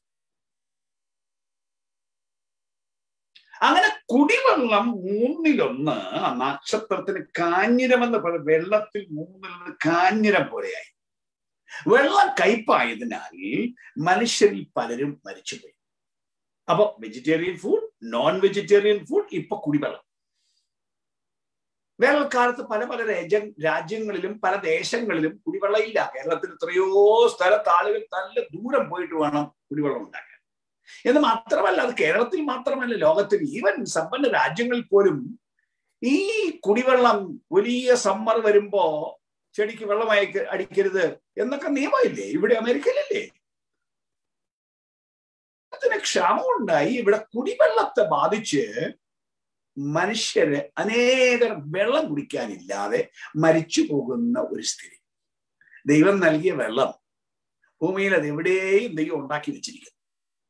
ഈ വെള്ളമെല്ലാം ഇത് കുടിക്കാതെ ഒരു മനുഷ്യനും ജീവിക്കാൻ പറ്റില്ല. ഇത് കുടിച്ചിട്ടാണ് ദൈവത്തെ അംഗീകരിക്കാതെ ദൈവത്തെ പുച്ഛിച്ച് ദൈവത്തെ കൊഞ്ഞണം കുത്തി കാണിച്ച് ഈ തരത്തിൽ ജീവിക്കുന്ന മനുഷ്യന് ദൈവം വെള്ളം മുടക്കി ദൈവത്തിന്റെ ന്യായവിധി മനുഷ്യന്റെ മേലായി. ഞാൻ നേരത്തെ പറഞ്ഞ പോലെ മഴ അയക്കാൻ ദൈവത്തിന് ബാധ്യസ്ഥതയില്ല. അതിനെ ദൈവം തടയും. ദൈവത്തെ ബഹുമാനിക്കാൻ മനുഷ്യന് കടപ്പാടും. തന്റെ ജീവിതത്തിൽ അനുഭവിക്കുന്ന നന്മകൾ താൻ ഉണ്ടാക്കിയതല്ല സർക്കാർ ഉണ്ടാക്കിയതല്ല ഭൂമിയിൽ വേറെ ആരും ഉണ്ടാക്കി കൊടുത്തതല്ല. ഇത് മുഴുവൻ ദൈവത്തിന്റെ വകയാണെന്ന് ഏത് മനുഷ്യനും തിരിച്ചറിയേണ്ടതാണ്. അതിനുള്ള ബുദ്ധി മനുഷ്യനുണ്ട് അതിനുള്ള കഴിവ് മനുഷ്യനുണ്ട്. അത് അംഗീകരിക്കാത്തവനെ സംബന്ധിച്ചിടത്തോളം ഈ ബേസിക് നെസസിറ്റീസ് മുടക്കി ദൈവം അവന്റെ മേൽ തന്നെ ന്യായവിധി അയക്കുന്നതായിട്ടുള്ള പറയും. നാലാമത്തവനൂതി അപ്പോൾ സൂര്യനിൽ മൂന്നിലൊന്നിനും ചന്ദ്രനിൽ മൂന്നിലൊന്നിനും നക്ഷത്രങ്ങളിൽ മൂന്നിലൊന്നിനും ഭാവ വരും അവയിൽ മൂന്നിലൊന്ന് ഇരുണ്ടുപോയി. രാവും പകലും മൂന്നിലൊന്ന് വെളിച്ചമില്ലാതെയായി. സൂര്യപ്രകാശം. മനുഷ്യന് അടുത്ത വലിയ അത്യാവശ്യമാണ് ബേസിക് മനുഷ്യനെന്ന് മാത്രമല്ല എല്ലാ അഖിലാണ്ടത്തിന്റെ നിലനിൽപ്പിനും അന്തരീക്ഷത്തിനും പ്രധാനമാണ് ഈ സൂര്യപ്രകാശം. സൂര്യപ്രകാശം മാത്രമല്ല എല്ലാത്തരം വെളിച്ചവും. അതിൽ മൂന്നിലൊന്ന് ഇരുണ്ടുപോയി അത് ലോകത്തിൽ വലിയ പ്രത്യാഘാതമാണ്. കാലാവസ്ഥയ്ക്ക് വലിയ വ്യത്യാസം ഉണ്ടാകും. സകല സംവിധാനങ്ങൾക്കും വ്യത്യാസം ഉണ്ടാക്കും എന്ന് മാത്രമല്ല ഇന്നത്തെ കാലത്ത് ഈവൻ എനർജി ഉണ്ടാക്കാനും വിദ്യുച്ഛക്തി ഉൽപ്പാദിക്കാനും പല രാജ്യങ്ങളും സോളാർ എനർജി ഉപയോഗിച്ച് തുടങ്ങിയില്ലേ? പല ദേശങ്ങളിലും തെരുവ് വിളക്കുകൾ കംപ്ലീറ്റ് സോളാർ എനർജിയാണ് ഈ സമ്പന്ന രാജ്യങ്ങളിലും വീടുകളിൽ വിദ്യുച്ഛക്തി ഉൽപ്പാദിപ്പിക്കാൻ സോളാർ എനർജി കൊണ്ട് വിദ്യുച്ഛക്തി ഉൽപ്പാദിപ്പിക്കാൻ ഗവൺമെന്റ് പ്രൊമോട്ട് ചെയ്യുന്നു പല രാജ്യങ്ങളും. ഇന്ത്യയിൽ ചില എയർപോർട്ടുകൾ തന്നെ കംപ്ലീറ്റ്ലി സോളാർ എനർജി കൊണ്ട് പ്രവർത്തിക്കുന്നതാണ്. അപ്പൊ അങ്ങനെ ചെലവ് കുറഞ്ഞ വിദ്യുച്ഛക്തി ഉൽപാദനം ഇങ്ങനെ വ്യാപകമായി വരുന്ന കാലം. അപ്പൊ അതിൽ മൂന്നിലൊന്ന് പോയി എന്ന് പറയുമ്പോ എഗെയിൻ സംഭവിക്കുന്ന മൂന്നിലൊന്ന് പവർ കട്ട് മൂന്നിലൊന്ന് ലേ ഓഫ് ഓഫീസുകൾ മൂന്നിലൊന്ന് നടക്കേണ്ടി വരുന്നു. ഫാക്ടറികളുടെ പ്രവർത്തനം പിന്നെയും മൂന്നിലൊന്ന് പോകുന്നു. ചുരുക്കി പറഞ്ഞാൽ തൊഴിൽ മണ്ഡലവും മനുഷ്യന്റെ സകല മണ്ഡലങ്ങളുടെ മേലും ദൈവത്തിന്റെ കരം വന്ന് മനുഷ്യന് താങ്ങാൻ മേലാത്ത ഒരു സ്ഥിതി ഉണ്ടായി. ഒന്നുകൂടെ പറയുന്നു ബേസിക് നെസസിറ്റീസ് ഭൂമിയിലെ മനുഷ്യന്റെ അടിസ്ഥാന ആവശ്യങ്ങളെ മുടക്കുന്ന ന്യായവിധികളാണ് ഈ നാരം മനുഷ്യൻ എങ്ങനെ പൊറുക്കും പക്ഷേ ബാക്കി കേട്ടോളൂ. ഇത്രയും കഴിഞ്ഞപ്പോ ഒരു കഴുക് ആകാശമധ്യ പറക്കുകയാണ് പതിമൂന്നാം വാക്യം. അനന്തരം ഒരു കഴുക്. ഇനി കാഹളം ഊതുവാനുള്ള മൂന്ന് ദൂതന്മാരുടെ കാഹളനാദം ഹേതുവായി ഭൂവാസികൾക്ക് കഷ്ടം കഷ്ടം കഷ്ടമെന്ന് ഉറക്ക പറഞ്ഞുകൊണ്ട് ആകാശമധ്യെ പറക്കുന്നത് ഞാൻ കാണുകയും കേൾക്കുകയും ചെയ്തു. എന്ന് പറഞ്ഞാൽ ഇതുവരെ വന്നതൊന്നും ഒന്നുമില്ല. ഭയങ്കര ന്യായതി വരുന്ന ഇനി മൂന്നെണ്ണം. അഞ്ചും ആറ് ഏഴും മനുഷ്യന് താങ്ങാമല്ല. ഇത് താങ്ങാവുന്നതല്ല പക്ഷെ അതിനേക്കാൾ അതിരൂക്ഷമായ ന്യായം. ഭൂവാസികൾക്ക് കഷ്ടം കഷ്ടം കഷ്ടം. അനൗൺസ്മെന്റാണ് നടക്കുന്നതിന് മുമ്പ്. എന്താണ് ഈ ന്യായവിധി എന്ന് ഇപ്പൊ വായിച്ചതിന്റെ അത്രയും പെട്ടെന്ന് മനസ്സിലാവില്ല. ഇപ്പൊ ഞാൻ പറഞ്ഞത് അക്ഷരത്തിലാണെന്ന് പറഞ്ഞാൽ ആൾക്ക് മനസ്സിലാക്കാമായി എന്നാൽ അടുത്തവ അങ്ങനെ മനസ്സിലാകുന്നവയല്ല. അതുകൊണ്ട് ഒന്ന് ശ്രദ്ധിച്ചോണം ഒത്തിരി ദീർഘമായി പറയാൻ എനിക്ക് നേരെയില്ല. എന്നാലും വേഗം ഞാൻ ചില സൂചനകൾ പറയാം. നോക്കൂ. അഞ്ചാമത്തെ വനൂതി ഒൻപതാം അധ്യായം ഒന്നാം വാക്യം മുതൽ. അപ്പോൾ ഒരു നക്ഷത്രം ആകാശത്തു നിന്ന് വീണ് കിടക്കുന്നത് ഞാൻ കണ്ടു. ആകാശത്തു നിന്ന് ഭൂമിയിൽ വീണ് കിടക്കുന്നത് ഞാൻ കണ്ടു. അവന് അഗാധ കൂപത്തിന്റെ താക്കോൽ ലഭിച്ചു. അത് അതിന്റെ കീ ഭാഗമാണ്. ഇതിന്റെ അർത്ഥം മനസ്സിലാക്കാൻ പറ്റിയ ഒരു ഭാഗമാണ്. ഇത് അക്ഷരാർത്ഥത്തിൽ വ്യാഖ്യാനിക്കാൻ പറ്റുന്ന ഒരു പാസേജ് അല്ല. അങ്ങനെ സ്ഥിതിയാണ് ഈ പറയുന്ന ഈ ദർശനം. എന്താണ് എന്ന് നോക്കാം.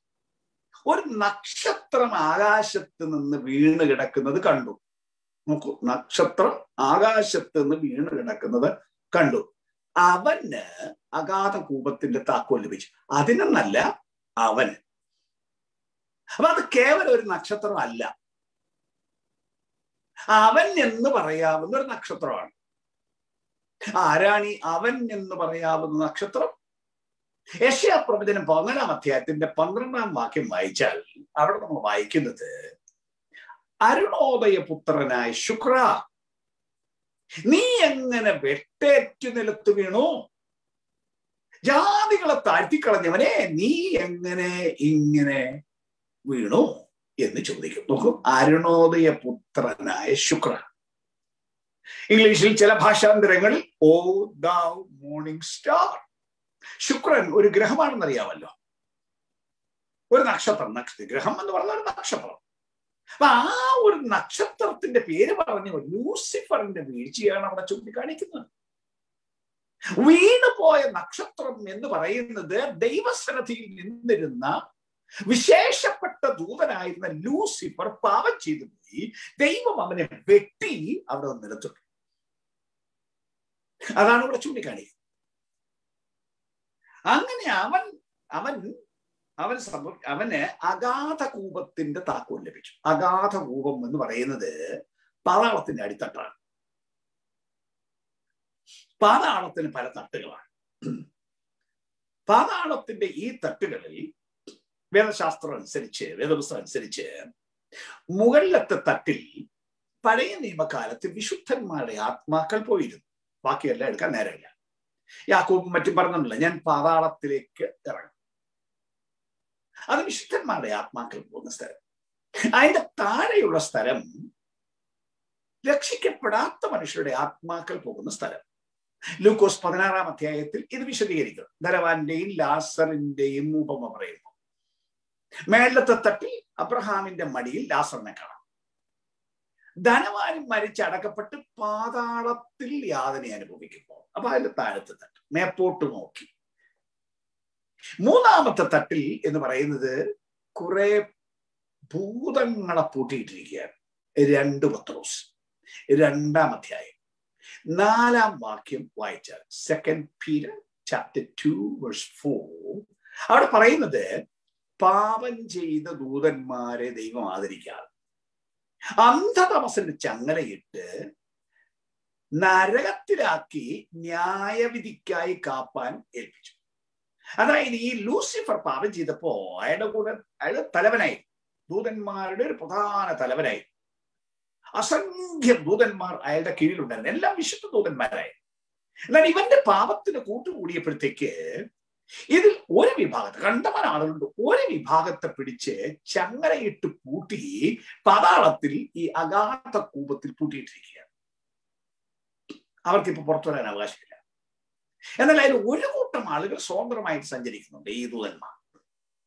അവരാണ് ഭൂമിയിൽ കുഴപ്പമുണ്ടാക്കുന്ന ആളുകൾ. ഇവരെയാണ് എഫ് എസ് ലേഖനം ആറാം അദ്ദേഹത്തിന്റെ പന്ത്രണ്ടാം വാക്യത്തിലൂടെ വായിക്കുന്നത്. നമുക്ക് പോരാട്ടമുള്ളത് ജഡരക്തങ്ങളോടല്ല വാഴ്ചകളോടും അധികാരങ്ങളോടും അന്ധകാരത്തിന്റെ ലോകാധിപതികളും സ്വർലോകങ്ങളിലെ ദുഷ്ടാത്മസേനയോടും. അപ്പൊ സ്വർലോകത്തിലെ ഭൂമിയിലൊക്കെ സഞ്ചരിക്കാനും പ്രവർത്തിക്കാനും അധികാരം അനുവാദം കൊടുത്ത് നിയമിച്ചിരിക്കുന്ന അവൻ അനുവദിച്ചിരിക്കുന്ന ഒരു കൂട്ടം ദുർഭൂതങ്ങൾ ഇവരെ ഭൂതങ്ങളെന്നും വിളിക്കും. അപ്പൊ അങ്ങനെ ഒരു കൂട്ടം ദൂതന്മാർ അശുദ്ധ ദൂതന്മാർ സ്വതന്ത്രമായി ഭൂമിയിൽ സഞ്ചരിക്കുന്നു. അവരാണ് ഭൂമിയിൽ എല്ലാ കുഴപ്പം കാണിക്കുന്നത്. എല്ലാ പാപം ഉണ്ടാക്കുന്നത്. ഒരു ദൈവവൈതൽ വിശുദ്ധമായിട്ട് ജീവിക്കാൻ ആഗ്രഹിച്ചാൽ അതിന് തകരാറുണ്ടാക്കുന്നു. ദൈവത്തെ സേവിക്കാൻ തുടങ്ങുമ്പോൾ മുടക്കങ്ങൾ ഉണ്ടാക്കുന്നു. സകല തകർച്ചകളും ഉണ്ടാക്കുന്നത് ഈ സ്വതന്ത്രമായി സഞ്ചരിക്കുന്ന ദൂതന്മാരാണ്. പക്ഷേ ഒരു കൂട്ടരെ പിടിച്ച് പാതാളത്തിൽ പൂട്ടിയിട്ടിരിക്കുകയാണ്. കാരണം എല്ലാത്തിനെയും കൂടി ഇങ്ങോട്ട് വിളിച്ച് ഇറക്കി വിട്ടാൽ ഭൂമിയിൽ പുറക്കാൻ മേലാതെ വരും. അതുകൊണ്ട് ഒരു കൂട്ടരെ അവിടെ പൊട്ടി പാതാളത്തിലിട്ടിരിക്കുകയാണ് പോയി ദൂതൻ പോയി ഇവൻ പോയി അഗാധ കൂപം തുറന്നു. ഇതിനെ തലവനെ കൊണ്ട് തന്നെ തുറപ്പിച്ചു. തുറന്നപ്പോൾ അവിടെ പറയുന്നത് ഉടനെ പെരിഞ്ചൂളയിലെ പുക പോലെ കൂപത്തിൽ നിന്ന് പുക പൊങ്ങി. കൂപത്തിന്റെ പുകയാൽ സൂര്യനും ആകാശവും ഇരുണ്ടുപോയി. എന്ന് പറഞ്ഞാൽ ഒന്നും കാണാൻ മേലാത്തൊരു സ്ഥിതി ഉണ്ടായി പുകയിൽ നിന്ന് വെട്ടുക്കിളി ഭൂമിയിൽ പുറപ്പെട്ടു. വെട്ടുക്കിളി ഭൂമിയിൽ പുറപ്പെട്ടു. എട്ടാമത്തെ ബാധയാണ് മിസ്രൈമിൽ വെട്ടുക്കിളി. പുറപ്പാട് പുസ്തകം പത്താം അധ്യായം നാലും അഞ്ചും വാക്യം അതിന് സമാനമായി വെട്ടുക്കിളി ഭൂമിയിൽ പുറപ്പെട്ടു. പക്ഷെ വെട്ടുക്കിളി എന്ന് പറയുന്നത് ഒരു ചെറിയ ജീവിയാണ്. അത് പുല്ല് തിന്നാണ് ജീവിക്കുന്നത്. കൂട്ടമായിട്ടാണ്. വരുന്ന ഒരു ദേശത്തേക്ക് വരും പച്ചല മുഴുവൻ തിന്നും വെച്ച് പോകും. പക്ഷെ ഇത് അതല്ല ഞാൻ പറഞ്ഞല്ലോ ഇത് അക്ഷരികമായി വ്യാഖ്യാനിക്കാൻ പറ്റാത്ത വിശദീകരണങ്ങളാണ്. നോക്കാം. നെറ്റിയിൽ ദൈവത്തിന്റെ മുദ്രയില്ലാത്ത സോറി മൂന്നാം വാക്യം പുകയിൽ നിന്ന് വെട്ടുക്കളി ഭൂമിയിൽ പുറപ്പെട്ടു അതിന് ഭൂമിയിലെ തേളിനുള്ള ശക്തി ലഭിച്ചു. അപ്പൊ അത് വെറും വെട്ടുക്കളിയല്ല തേളിനുള്ള ശക്തി ലഭിച്ചു. നെറ്റിയിൽ ദൈവത്തിന്റെ മുദ്രയില്ലാത്ത മനുഷ്യർക്കല്ലാതെ ഭൂമിയിലെ പുല്ലിനും പച്ചയായ യാതൊന്നിനും യാതൊരു വൃക്ഷത്തിനും കേടുവരുത്തരുതെന്നതിന് കൽപ്പനയുണ്ട്. അപ്പൊ ഇതൊരു പച്ചപ്പുല്ലും തിന്നാൻ പാടില്ല. ദൈവം മുദ്രയിട്ട് വേർതിരിക്കാത്ത ആളുകളെ പോയി ഉപദ്രവിക്കണം. അതാണ് അവരുടെ ജോലി. ഇനി അതിന്റെ രൂപം നോക്കിക്കോളൂ. അവരെ കൊല്ലുവാനല്ല അഞ്ചു മാസം ദണ്ണിപ്പാൻ അത്രയും അതിന് അധികാരം ലഭിച്ചത്? അവരുടെ വേദന തേൾ മനുഷ്യനെ കുത്തും പോലെയുള്ള വേദന പോലെ തന്നെ. ആ കാലത്ത് മനുഷ്യർ മരണം അന്വേഷിക്കും കാണുകയില്ലതാനും മരിപ്പാൻ കൊതിക്കും. മരണം അവരെ വിട്ട് ഓടിപ്പോകും. അപ്പൊ മനുഷ്യൻ ഈ വേദന നിവ തേൾ കുത്തുന്ന പോലുള്ള വേദന. തേളിന്റെ വേദന വലിയ വേദനയാണ്. ഇതൊന്നും കുത്തിയതല്ല. കുത്തി അതിന്റെ വേദന ശമിക്കുമ്പോൾ അടുത്ത കുത്തു കുത്തു. അഞ്ചു മാസത്തേക്ക് തുടർമാനമായി സംഭവിക്കും. സകല മനുഷ്യരെയും കുത്തും. ദൈവത്തിന്റെ മുദ്ര ഇല്ലാത്ത എല്ലാരെയും. അപ്പൊ തേളിന്റെ കുത്തിയ ഈ വേദന അതിവേദന നിമിത്തം മനുഷ്യൻ മരിക്കാൻ ആഗ്രഹിക്കും. ആത്മഹത്യ ചെയ്യാൻ ആഗ്രഹിക്കും. പക്ഷെ അഞ്ചു മാസത്തേക്ക് ദൈവം ഭൂമിയിൽ ആത്മഹത്യ നിരോധിക്കും. ഒരെണ്ണ ആത്മഹത്യയെ സമ്മതിക്കുക കാരണം ഈ വേദന മനുഷ്യൻ അനുഭവിക്കണം. നോക്കൂ ഇനി വെട്ടുക്കളിയുടെ രൂപം നോക്കൂ. ആ വെട്ടുക്കളിയാണ്? യുദ്ധത്തിന് അവയുടെ രൂപം യുദ്ധത്തിന് ചമയിച്ച കുതിരയ്ക്ക് സമം. തലയിൽ പൊൻ കിരീടമുള്ളതുപോലെയും മുഖം മാനുഷ്യമുഖം പോലെയായിരുന്നു. സ്ത്രീകളെ പോലെ മുടി അതിന് മുടിയുണ്ട്. പല്ല് സിംഹത്തിന്റെ പല്ല് പോലെയായിരുന്നു. ഇരുമ്പ് കവചം പോലെ കവചമുണ്ട്. ചിറകിന്റെ ഒച്ച പടക്കോടുന്ന അനേകം കുതിര തേരുകളുടെ ഒച്ച പോലെയായിരുന്നു. തേളിനുള്ളത് പോലെ വാലും വിഷമുള്ളതുമുണ്ട് മനുഷ്യരെ അഞ്ചു മാസം ഉപദ്രവിപ്പാൻ അതിനുള്ള ശക്തി പാലിലായിരുന്നു. അഗാധ ദൂതൻ അതിന് രാജാവായിരുന്നു. അഗാധത്തിൽ നിന്നാണ് കൊണ്ടിരുന്നത് അവൻ എബ്രായ ഭാഷയിൽ അബദ്ധോൻ എന്നും യവന ഭാഷയിൽ അപ്പല്ലോവൻ എന്നും പേർ. രണ്ട് വാക്കിന്റെയും അർത്ഥം വിനാശകൻ എന്നാണ്. ഡിസ്ട്രോയർ അബദ്ധോൻ എന്നോ അപ്പല്ലോവൻ എന്ന് പറയുന്ന വാക്കിന്റെ അർത്ഥം ഡിസ്ട്രോയർ അപ്പൊ ഇത് എവിടുന്ന് വരുന്നു എന്ന് നോക്കിയാൽ ആര് കൊണ്ടുവരുന്നു നോക്കിയാൽ എന്താണ് ഈ വെട്ടുക്കിളി എന്ന് ബോധ്യമാണ് അപ്പൊ ഇത് വെട്ടുക്കിളി അല്ല. ഞാൻ പറഞ്ഞില്ല ബാധ കാണിക്കാൻ വേണ്ടി ഒരു ജന്തുവിനെ കാണിച്ചതാണ്. സംഭവിക്കുന്ന പാതാളത്തിൽ പൂട്ടിയിട്ടിരിക്കുന്ന ഈ ഭൂതാത്മാക്കളെ ഈ ദുഷ്ടാത്മാക്കളെ കൂടി ഭൂമിയിലേക്ക് ഇറങ്ങിക്കൊണ്ടുവരും. ദൈവത്തെ സേവിക്കാൻ പറഞ്ഞിട്ട് കേട്ടില്ലല്ലോ? ദൈവത്തെ സേവിച്ചില്ലെങ്കിൽ പിന്നെ സേവിക്കുന്നത് പിശാചിനെയാണ്. പിശാചിനെ സേവിച്ചാൽ എന്തു ഫലമുണ്ടാവുമെന്ന് ലോകം നല്ലപോലെ തിരിച്ചറിയണം. പിശാചിന്റെ പക്കൽ മോഷ്ടിപ്പാനും ആറുപ്പാനും മുടിപ്പാനുമാണ് ദണ്ഡനമാണ് അവന്റെ പക്കലുള്ളത്. ഭൂതമളകുന്നത് നിങ്ങൾ കണ്ടിട്ടുണ്ടെങ്കിൽ മിക്ക ഭൂതമളകുമ്പോൾ പറയുന്ന വാക്ക് ഇവനെ ഞാൻ കൊല്ലും. ഇവിടെ കൊണ്ട് പോകണം ഭൂതബാധിതർക്ക് മിക്ക പേർക്കും അതിനോട് അസോസിയേറ്റ് ചെയ്ത് ഒരു രോഗം കൂടെ കൊണ്ടുവന്നിട്ടുണ്ട്. മെഡിക്കൽ സയൻസ് നോക്കിയാൽ അവർക്ക് രോഗമില്ല. പക്ഷെ അവരുടെ സിസ്റ്റം തകരാറില്ല അങ്ങനെയുള്ള ഈ തരം ബാധകൾ ഉള്ള ദുർഭൂതങ്ങൾ മനുഷ്യൻ വന്ന് മനുഷ്യനെ ദണ്ഡിപ്പിച്ച് വേദനിപ്പിച്ച് അഞ്ചു മാസം ഭീകര വേദന കൊണ്ടുവരുന്ന ഒരു കാലമുണ്ട്. ഒന്നുകൂടെ എടുത്തു പറഞ്ഞ ജീവനുള്ള സത്യ ദൈവത്തെ സേവിച്ച് സമാധാനവും സ്വസ്ഥതയും രോഗശാന്തിയും ആരോഗ്യവും അനുഭവിക്കാൻ മനുഷ്യനെ വിളിച്ചിട്ട് അത് വേണ്ട എന്ന് നിഷേധിച്ച് തള്ളിക്കറഞ്ഞ ഈ ഭൂതത്തെ സേവിക്കുന്ന ലോക മനുഷ്യരെ പാതാളത്തിൽ നിറക്കൊണ്ടുവന്ന ഭൂതബാധ കൊണ്ട് ദണ്ഡിപ്പിക്കും. സുബോധം നഷ്ടപ്പെട്ട മനുഷ്യരെ കണ്ടിട്ടുണ്ടോ? ഞങ്ങളുടെ ഒരു വീട്ടിൽ പോയപ്പം മൂന്ന് മക്കൾ. ഒരു പുരുഷൻ ബി എ പഠിച്ചവൻ. അവന്റെ രണ്ട് സഹോദരിമാര് ഒരു ബി എക്കാരി എം എക്കാരി കെട്ടിയിട്ടിരിക്കുകയാണ്. ഞാൻ പോയി കണ്ടുള്ളതാണ് സാധാരണ വസ്ത്രം ധരിക്കാറില്ല. മനുഷ്യർ ചെന്നപ്പോ ആ വസ്ത്രം ഒന്ന് ഇടിച്ചു എന്ന് മാത്രമേ ഉള്ളൂ. പെട്ടെന്നൊരു ദിവസം ഉണ്ടായ സംഭവമാണ്. നാല് മക്കളുണ്ടായ നാലെണ്ണത്തിനും സുബോധം നഷ്ടപ്പെട്ടു. ഒരാൾ വിശ്വസിച്ച് യേശുക്രിസ്തുവിനെ രക്ഷകനായി സ്വീകരിച്ച് രക്ഷപ്പെട്ടു. ഈ വാർത്ത അറിഞ്ഞ അപ്പൻ ആത്മഹത്യ ചെയ്തു. അമ്മ ഈ മക്കളെ മൂവരെയും പോറ്റുകയാണ് ഭൂതം ലോകത്തിൽ അനവധി ദോഷം ചെയ്യുന്നു. പിശാജ് ദോഷം ചെയ്യുന്നു യേശു മനുഷ്യന് ജീവൻ ഉണ്ടാകുവാനും സമൃദ്ധിയായി ജീവൻ ഉണ്ടാകുവാനും വന്നു. രക്ഷിക്കുന്നത് ദൈവത്തിന്റെ പ്രവൃത്തി. ഈ രക്ഷയുടെ വചനം ഭൂമിക്ക് കൊടുത്തിട്ട് അത് വേണ്ട എന്ന് പറഞ്ഞ് ദുർഭൂതങ്ങളെ സേവിച്ച് ദണ്ഡനം അനുഭവിക്കുന്നവരെ ഈ നാൾ വരുമ്പോഴത്തേക്ക് അതിഭയങ്കരമായ അഞ്ചു മാസം ലഭിക്കും. അടുത്ത വാക്യം ഒന്ന് കഴിഞ്ഞു. രണ്ടാം കഷ്ടം വീണ്ടും വരും.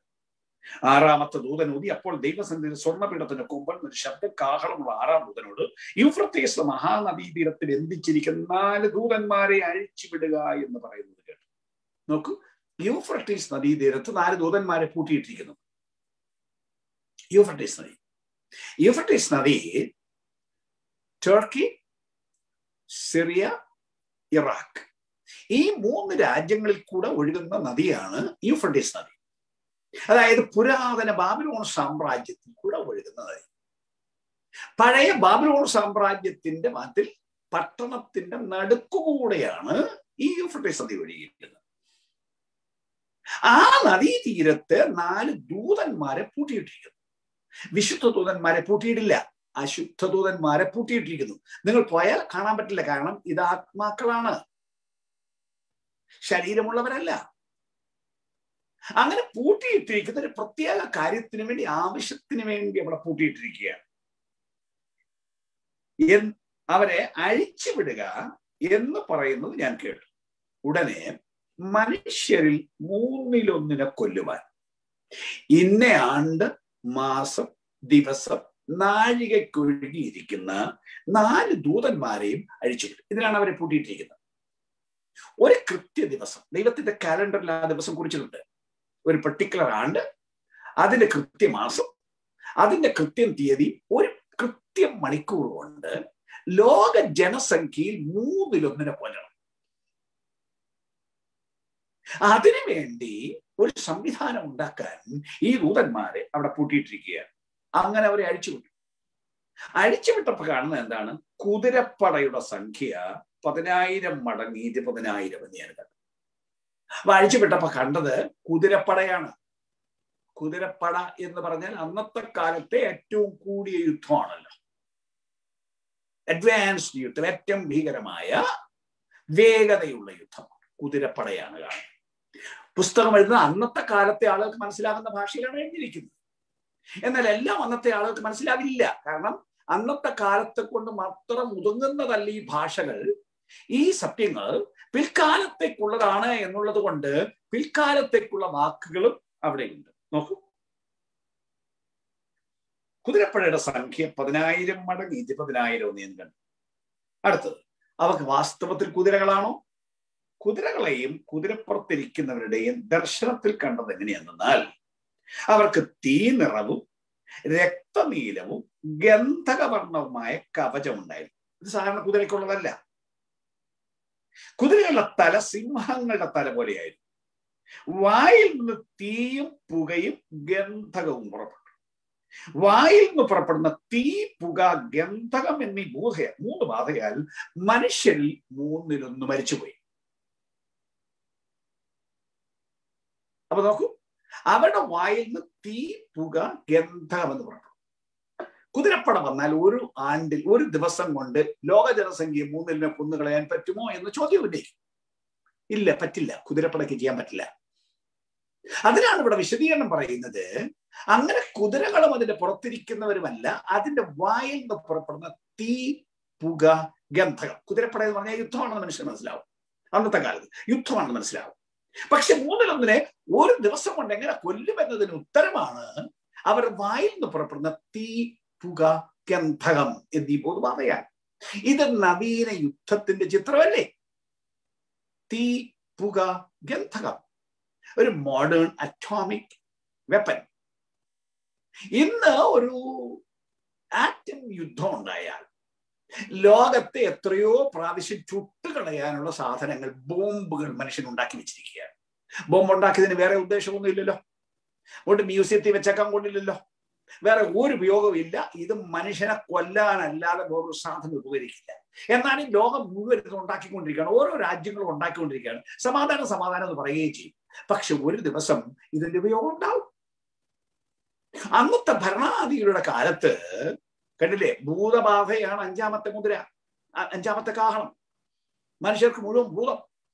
അതിന് തലവന് വേവല ഭൂതമല്ല വരുന്നത്. വെളിപ്പാട് പുസ്തകം പതിമൂന്നാം അധ്യായത്തിൽ വരുന്നാൽ പിശാജ് നേരിട്ടാണ് അന്നത്തെ തലവനെ അഭിഷേകം ചെയ്തത്. ഭൂതമല്ല പിശാജ് തന്നെ നേരെ അങ്ങ് കയറുക. അപ്പൊ പിന്നെ എന്താ ചെയ്യുന്നതെന്ന് ഒരു പിടിയില്ല. ഒരു കൽപ്പന കൊടുത്താ പോരെ ഒരു ഓർഡർ കൊടുത്താ പോരെ. എല്ലാം റെഡിയാക്കി വെച്ചിരിക്കുകയല്ലേ. അല്ലാതെ ഇതെല്ലാം വാരിക്കൂട്ടി പോകേണ്ട ഒരു കാലം ഇന്നത്തെ കാലം. ഫയർ എന്നല്ലേ ഇന്ന് വാക്കും ഉപയോഗിക്കുന്നത് വെടിവെക്കാൻ പറഞ്ഞാൽ ഫയർ ബോംബിടാൻ പറഞ്ഞാലും ഫയർ ഇതല്ലേ വാക്ക് ഉപയോഗിക്കുന്നത്? അത് തന്നെയാണ് ഉപയോഗിച്ചിരിക്കുന്ന വാക്ക്. വായിൽ നിന്ന് പുറപ്പെടുന്ന തീ പുക ഗന്ധകം. എന്ന് പറഞ്ഞാൽ ഭീകരമായ യുദ്ധം ഉണ്ടാവും എവിടെ ഉണ്ടാവും യൂഫർട്ടീസിന്റെ തീരമാണ് ഇതിന്റെ പ്രധാനപ്പെട്ട കേന്ദ്രം. അതാണ് ഇവിടെ ചൂണ്ടിക്കാണിക്കുന്നത്. ലോകത്തിലെ സംഭവങ്ങൾ എന്താണെന്ന് വേദപുസ്തകം വളരെ കൃത്യമായി പറയും. ഇന്നത്തെ കാലത്ത് ശരിക്കും വ്യാഖ്യാനിച്ചാൽ മനുഷ്യന് സത്യം തിരിയുന്ന തരത്തിലാണ് ഇവിടെ എഴുതി വെച്ചിരിക്കുന്നത്. ഒന്നുകൂടെ പറയും. പുരാതന ബാബിലോൺ സാമ്രാജ്യത്തിന്റെ ആ ആസ്ഥാനമാണ് ഈ യുദ്ധത്തിന്റെ കേന്ദ്രമായി വേദപുസ്തകമാണ്. അവിടുന്നാണ് ഈ നാല് ദൂതന്മാരെ അഴിച്ചു വരുന്നത് അതായത് ഒരു വലിയ ലോക യുദ്ധം ഉണ്ടാവും മനുഷ്യൻ മൂന്നിലൊന്ന് കൊല്ലപ്പെടും.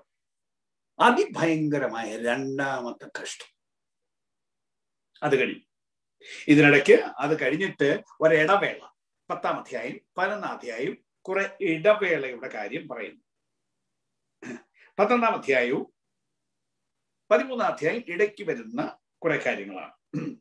ഇനി ഇതിന്റെ ബാക്കി കാണാൻ അടുത്തത് ഏഴാമത്തെ കാഹളം ഊതുന്ന കാര്യമാണ്. ഏഴാമത്തെ കാഹളം ഊതുന്നതിന് പതിനൊന്നാം അധ്യായം അതിന്റെ പതിനഞ്ചാം വാക്യം മുതൽ വായിച്ചു. നോക്കിക്കോളൂ എന്താണ് പറയുന്നത്? ഏഴാമത്തെ ദൂതൻ കാഹളമുടി അപ്പോൾ ലോകരാജ്യത്വം നമ്മുടെ കർത്താവിനും അവന്റെ ക്രിസ്തുവിനുമായി തീർന്നിരിക്കുന്നു അവൻ എന്നേക്കും വാഴും എന്ന് സ്വർഗത്തിൽ നിന്ന് ഒരു ശബ്ദം ഉണ്ടായി. അപ്പൊ ഏഴാമത്തെ കാഹളത്തിൽ ഉള്ളടക്കം ചെയ്തിരിക്കുന്നത് അടുത്ത ഒരു സെറ്റാണ് അത് സംഭവിക്കുന്ന ഈ കാഹളം ഊതുമ്പോൾ സംഭവിക്കേണ്ട കാര്യം ലോകരാജ്യത്വം കർത്താവിനും അവന്റെ ക്രിസ്തുവിനും ആയിത്തീരണം. നമ്മൾ നേരത്തെ പറഞ്ഞു ഈ കാര്യത്തിന്റെ എല്ലാ ഉദ്ദേശം the establishment of the kingdom of God ദൈവരാജ്യത്തിന്റെ സ്ഥാപനമാണ്. അപ്പൊ ഈ ഏഴാമത്തെ കാഹളം ഊതുമ്പോൾ സംഭവിക്കും. നേരത്തെ അനൗൺസ് ചെയ്യാൻ ഈ കാഹളം ഊതുമ്പോൾ ലോകരാജ്യം പ്രത്യേകം ഓർത്തോണം. ലോകരാജ്യത്വം ലോകങ്ങളുടെ മൊത്തം ഭരണം യേശുക്രിസ്തുവിനും അവിടുത്തെ അധികാരത്തിനുമായി തീർന്നിരിക്കുന്നു. ഒരു ഫ്യൂച്ചറിസ്റ്റിക് പ്രസന്റ് അവൻ എന്നേക്കും വാഴും. അപ്പൊ ഈ ഏഴാമത്തെ കാഹളത്തിങ്കിൽ ദൈവരാജ്യ സ്ഥാപനം പൂർത്തിയാവും. ഈ വിളംബരം ഉണ്ടായെങ്കിലും സംഭവങ്ങൾ താഴോട്ട് വായിച്ചു നോക്കിയാൽ നമ്മൾ അതിന്റെ പത്തൊൻപതാം വാക്യത്തിലേക്ക് വന്നാൽ ഐം സോറി പതിനൊന്നാം വാക്യം. നോ നോ സോറി പത്തൊൻപതാം വാക്യം. അപ്പോൾ സ്വർഗത്തിലെ ദേവാലയം തുറന്നു. അവന്റെ നിയമപ്പെട്ടകം അവന്റെ ആലയത്തിൽ പ്രത്യക്ഷമായി. ഈ സംഭവം നടന്നു. വേറെ ന്യായവിധി ഒന്നും പ്രത്യേകിച്ച് വന്നില്ല. ബാക്കി തുടരുകയാണ്. മിന്നലും നാദവും ഇടിമുഴക്കവും ഭൂകമ്പവും വലിയ കൽമഴയും ഉണ്ടായി. ഇതിന് ബാക്കി ശരിക്കും തുടരുന്നത് ഇടയ്ക്ക് കുറെ കാര്യങ്ങൾ പറയുന്നുണ്ട്. അതെല്ലാം നമുക്ക് ഇപ്പൊ നേരെ കാണുന്നത് നേരെയില്ല. എന്നാൽ ബാക്കി പറയുന്ന കാര്യം പതിനഞ്ചാമധ്യായം അഞ്ചാം വാക്യം മുതൽ. ഇതിന്റെ ശേഷം സ്വർഗത്തിലെ സാക്ഷ്യ കൂടാരമായ ദൈവാലയം തുറന്നത് ഞാൻ കണ്ടു. അതിൽ നേരത്തെ പറഞ്ഞത്? പതിനൊന്നിന് പത്തൊൻപതിലാണ് പറഞ്ഞു നിർത്തിയത്. അതിന്റെ ബാക്കി തുടരുകയാണ്. ഏഴ് ബാധയുള്ള ഏഴ് ദൂതന്മാരും ശുദ്ധവും ശുഭ്രവുമായ ക്ഷണവസ്ത്രം ധരിച്ച് മാറത്ത് പൊൻകച്ച് കത്തിയും കൊണ്ട് ദൈവാലയത്തിൽ നിന്ന് പുറപ്പെട്ടു.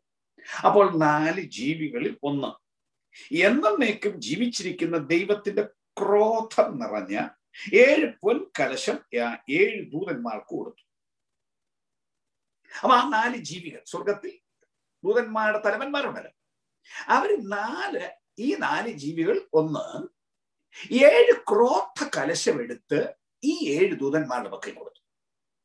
എന്താണ് ഈ ക്രോധ കലശം എന്നത് പറഞ്ഞ് ഞാൻ ഇന്ന് രാത്രി ക്രോധ കലശം എന്ന് പറഞ്ഞാൽ റോമാലേഖനം രണ്ടാം അധ്യായം. അതിന് നാലാം വാക്യം നമ്മൾ വായിക്കുന്നത്. നിന്റെ കാഠിന്യത്താലും അനുതാപമില്ലാത്ത ഹൃദയത്താലും ദൈവത്തിന്റെ നീതിയുള്ള വിധി വെളിപ്പെടുന്ന കോപ ദിവസത്തേക്ക് നീ നിനക്ക് തന്നെ കോപം ചരതിച്ചു വെക്കും. പിന്നെ ഓരോ മനുഷ്യന് അവനവന്റെ പ്രവൃത്തിക്കടുത്ത ന്യായവിധി ഉണ്ടാവുമെന്ന് പത്താം വാക്യം ദൈവത്തിന്റെ പക്കൽ മുഖപക്ഷമില്ല. ഞാൻ കഴിഞ്ഞ ദിവസം പറഞ്ഞതാണെന്ന് എടുത്തു പറയുന്നു മനുഷ്യൻ പാപം ചെയ്യുമ്പോൾ അന്നേരം അന്നേരം ദൈവം ന്യായം വിധിച്ചിരുന്നെങ്കിൽ ദൈവം ഉണ്ടെന്ന് മനുഷ്യൻ വിശ്വസിച്ചേരെ ഇപ്പോഴെന്താ മനുഷ്യൻ പറഞ്ഞത്? ഞാൻ കുഴപ്പം കാണിക്കുന്നു ദൈവം എന്നെ ഒന്നും ചെയ്യുന്നില്ല. അതുകൊണ്ട് എവിടെ ദൈവം? എന്നാണ് ചോദ്യം. ദൈവം അന്നേരം അന്നേരം മനുഷ്യന് തലയ്ക്ക് ഒരു അടി അടിച്ചാൽ ഒന്നും വേണ്ടെന്നേ ഞരമ്പേലും തൊട്ടാ മതി. മനുഷ്യൻ ഉണ്ടാവില്ല ബാക്കി ഉണ്ടാവില്ല. ഇരിക്കുന്നിടത്തൊന്നും എഴുന്നേക്കുകയല്ല കിടക്കുന്ന കട്ടിലെന്ന് എഴുന്നേക്കുകയല്ല. അവൻ അവിടെ അവസാനിച്ചു പോയനെ. എന്നാൽ അത് ജൈവൻ ചെയ്യാതെ ഈ വിട്ടിരിക്കുമ്പോ ആളുകൾ ധരിക്കുന്നത് ദൈവം ഇല്ലെന്നും പാ ന്യായവിധി ഇല്ല എന്നുമാണ് അതല്ല സത്യം. ദൈവത്തിന് പാപത്തോട് കോപമുണ്ട് വെറുപ്പുണ്ട് വിരോധമുണ്ട്. ദൈവത്തിന്റെ ആ കോപം ഈ വചനത്തിന്റെ വെളിച്ചത്തിൽ ഈ വെളിപ്പാട് പുസ്തകത്തിന്റെയും വെളിച്ചത്തിൽ ദൈവം അത് ഒഴിച്ച് ശേഖരിച്ചു വെക്കുക. വലിയ കുളമാണ്. അതിനകത്തോട്ട് ഒഴിച്ചു വെക്കുക. ഈ ഭൂമിയിലെ പാപത്തിന്റെ മേലുള്ള ദൈവത്തിന്റെ കോപം എല്ലാം കൂടെ ഒഴിച്ചൊരു ഏഴ് വലിയ കുടം നിറച്ചുണ്ടാവും. ഓരോന്ന് നിറയുമ്പോൾ സീൽ ചെയ്ത് മാറ്റി വെക്കും. എന്നാൽ ആ ദിവസം വരുമ്പോ ഇതെല്ലാം കൂടെ എടുത്ത് ഏഴ് ദൂതന്മാരുടെ കൈ കൊടുത്തിട്ട് പറയും കൊണ്ടുപോയി ഭൂമിയിലേക്ക് ഒഴിച്ചേക്കാം. ദൈവത്തിന്റെ കോപം ക്രോധം മനുഷ്യന്റെ മേൽ ചൊരിയുന്ന ദിവസം. എന്താണെന്നോ ഇതിൽ സംഭവിക്കുന്നത്? ഒത്തിരി വിശദീകരിക്കുന്നില്ല. കാഹള ന്യായവിധിയിൽ മൂന്നിലൊന്ന് ശിക്ഷ നടത്തി. ബേസിക് നെസസിറ്റീസ് ആണ് മുടക്കിയത്. ക്രോധകരശ ന്യായവിധിയിൽ മൂന്നിലൊന്നല്ല പൂർണമായി ന്യായവിധി നടക്കും ഇതുപോലെ ബേസിക് നെസസിറ്റീസ് മുടക്കും. ആഹാരം മുടക്കും. തൊഴിൽ മുടക്കും. സൂര്യപ്രകാശത്തിന്റെ കാര്യങ്ങൾക്ക് വ്യത്യാസം വരുത്തും. വെള്ളം മുടക്കും. അങ്ങനെ ബേസിക് നെസസിറ്റീസ് മുഴുവൻ മുടക്കി അവസാനം ഭീകരമായ അന്തരീക്ഷങ്ങൾ ഉണ്ടാക്കി. ഇതോടെ ദൈവരാജ്യ സ്ഥാപനത്തിന്റെ വേദി ഉണ്ടാക്കും. ആ ദൈവരാജ്യ സ്ഥാപനത്തിന്റെ വേദി ആറാമത്തെ കാഹളം ഐം സോറി ക്രോധകലശത്തോടെ സംഭവിക്കും. ആറാമത്തെ ക്രോധകലശം ഉണ്ടാ ഒഴിക്കുമ്പോൾ ഒരു വലിയ യുദ്ധത്തിനുള്ള വേദിയാണ് ഉണ്ടാക്കുന്നത്. അതും യൂഫ്രട്ടീസിന്റെ തീരത്താണ്. ആ യൂഫ്രട്ടീസ് നദി വറ്റിച്ചു കളഞ്ഞ് കിഴക്ക് നിന്നുള്ള രാജാക്കന്മാരെ പടിഞ്ഞാറോട്ട് യുദ്ധത്തിന് കൊണ്ടുവന്ന് പലസ്തീനിലുള്ള മെഗിദ്ദോ എന്ന താഴ്വരയിൽ കൂട്ടിക്കൊണ്ടുവരും അതും ഭൂതാത്മാക്കളെ വിട്ടാണ് ദൈവം ചെയ്യുന്നത് ആ ഭൂതാത്മാക്കൾ പോയി ലോകത്തുള്ള സൈന്യത്തെ മുഴുവൻ കൂട്ടിവരുത്തും. കൂട്ടിവരുത്തി ഈ താഴ്വരയിൽ ഒന്നിച്ചു വന്നു കൂടി ഒരു ഭയങ്കര യുദ്ധത്തിന് തയ്യാറാവും. ആ യുദ്ധത്തിന് തയ്യാറായി നിൽക്കുമ്പോൾ പതിനാറാം അധ്യായമാണ് ഇതിന്റെ വിശദീകരണം. യുദ്ധത്തിന് നിൽക്കുമ്പോൾ ആകാശം തുറക്കും.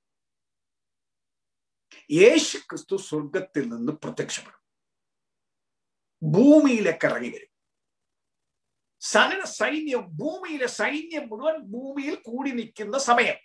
ഈ താഴ്വരയിൽ കൂടി നിൽക്കുന്ന വലിയൊരു താഴ്വരയാണ്. കൂടി നിൽക്കുന്ന സമയം സ്വർഗത്തിൽ നിന്ന് ക്രിസ്തു ഇറങ്ങി വരും വളരെ വേഗം ദൂതന്മാരോടുകൂടെ തന്റെ വിശുദ്ധ ഗണത്തോടുകൂടെ വേഗം താഴേക്ക് ഇറങ്ങി വരും.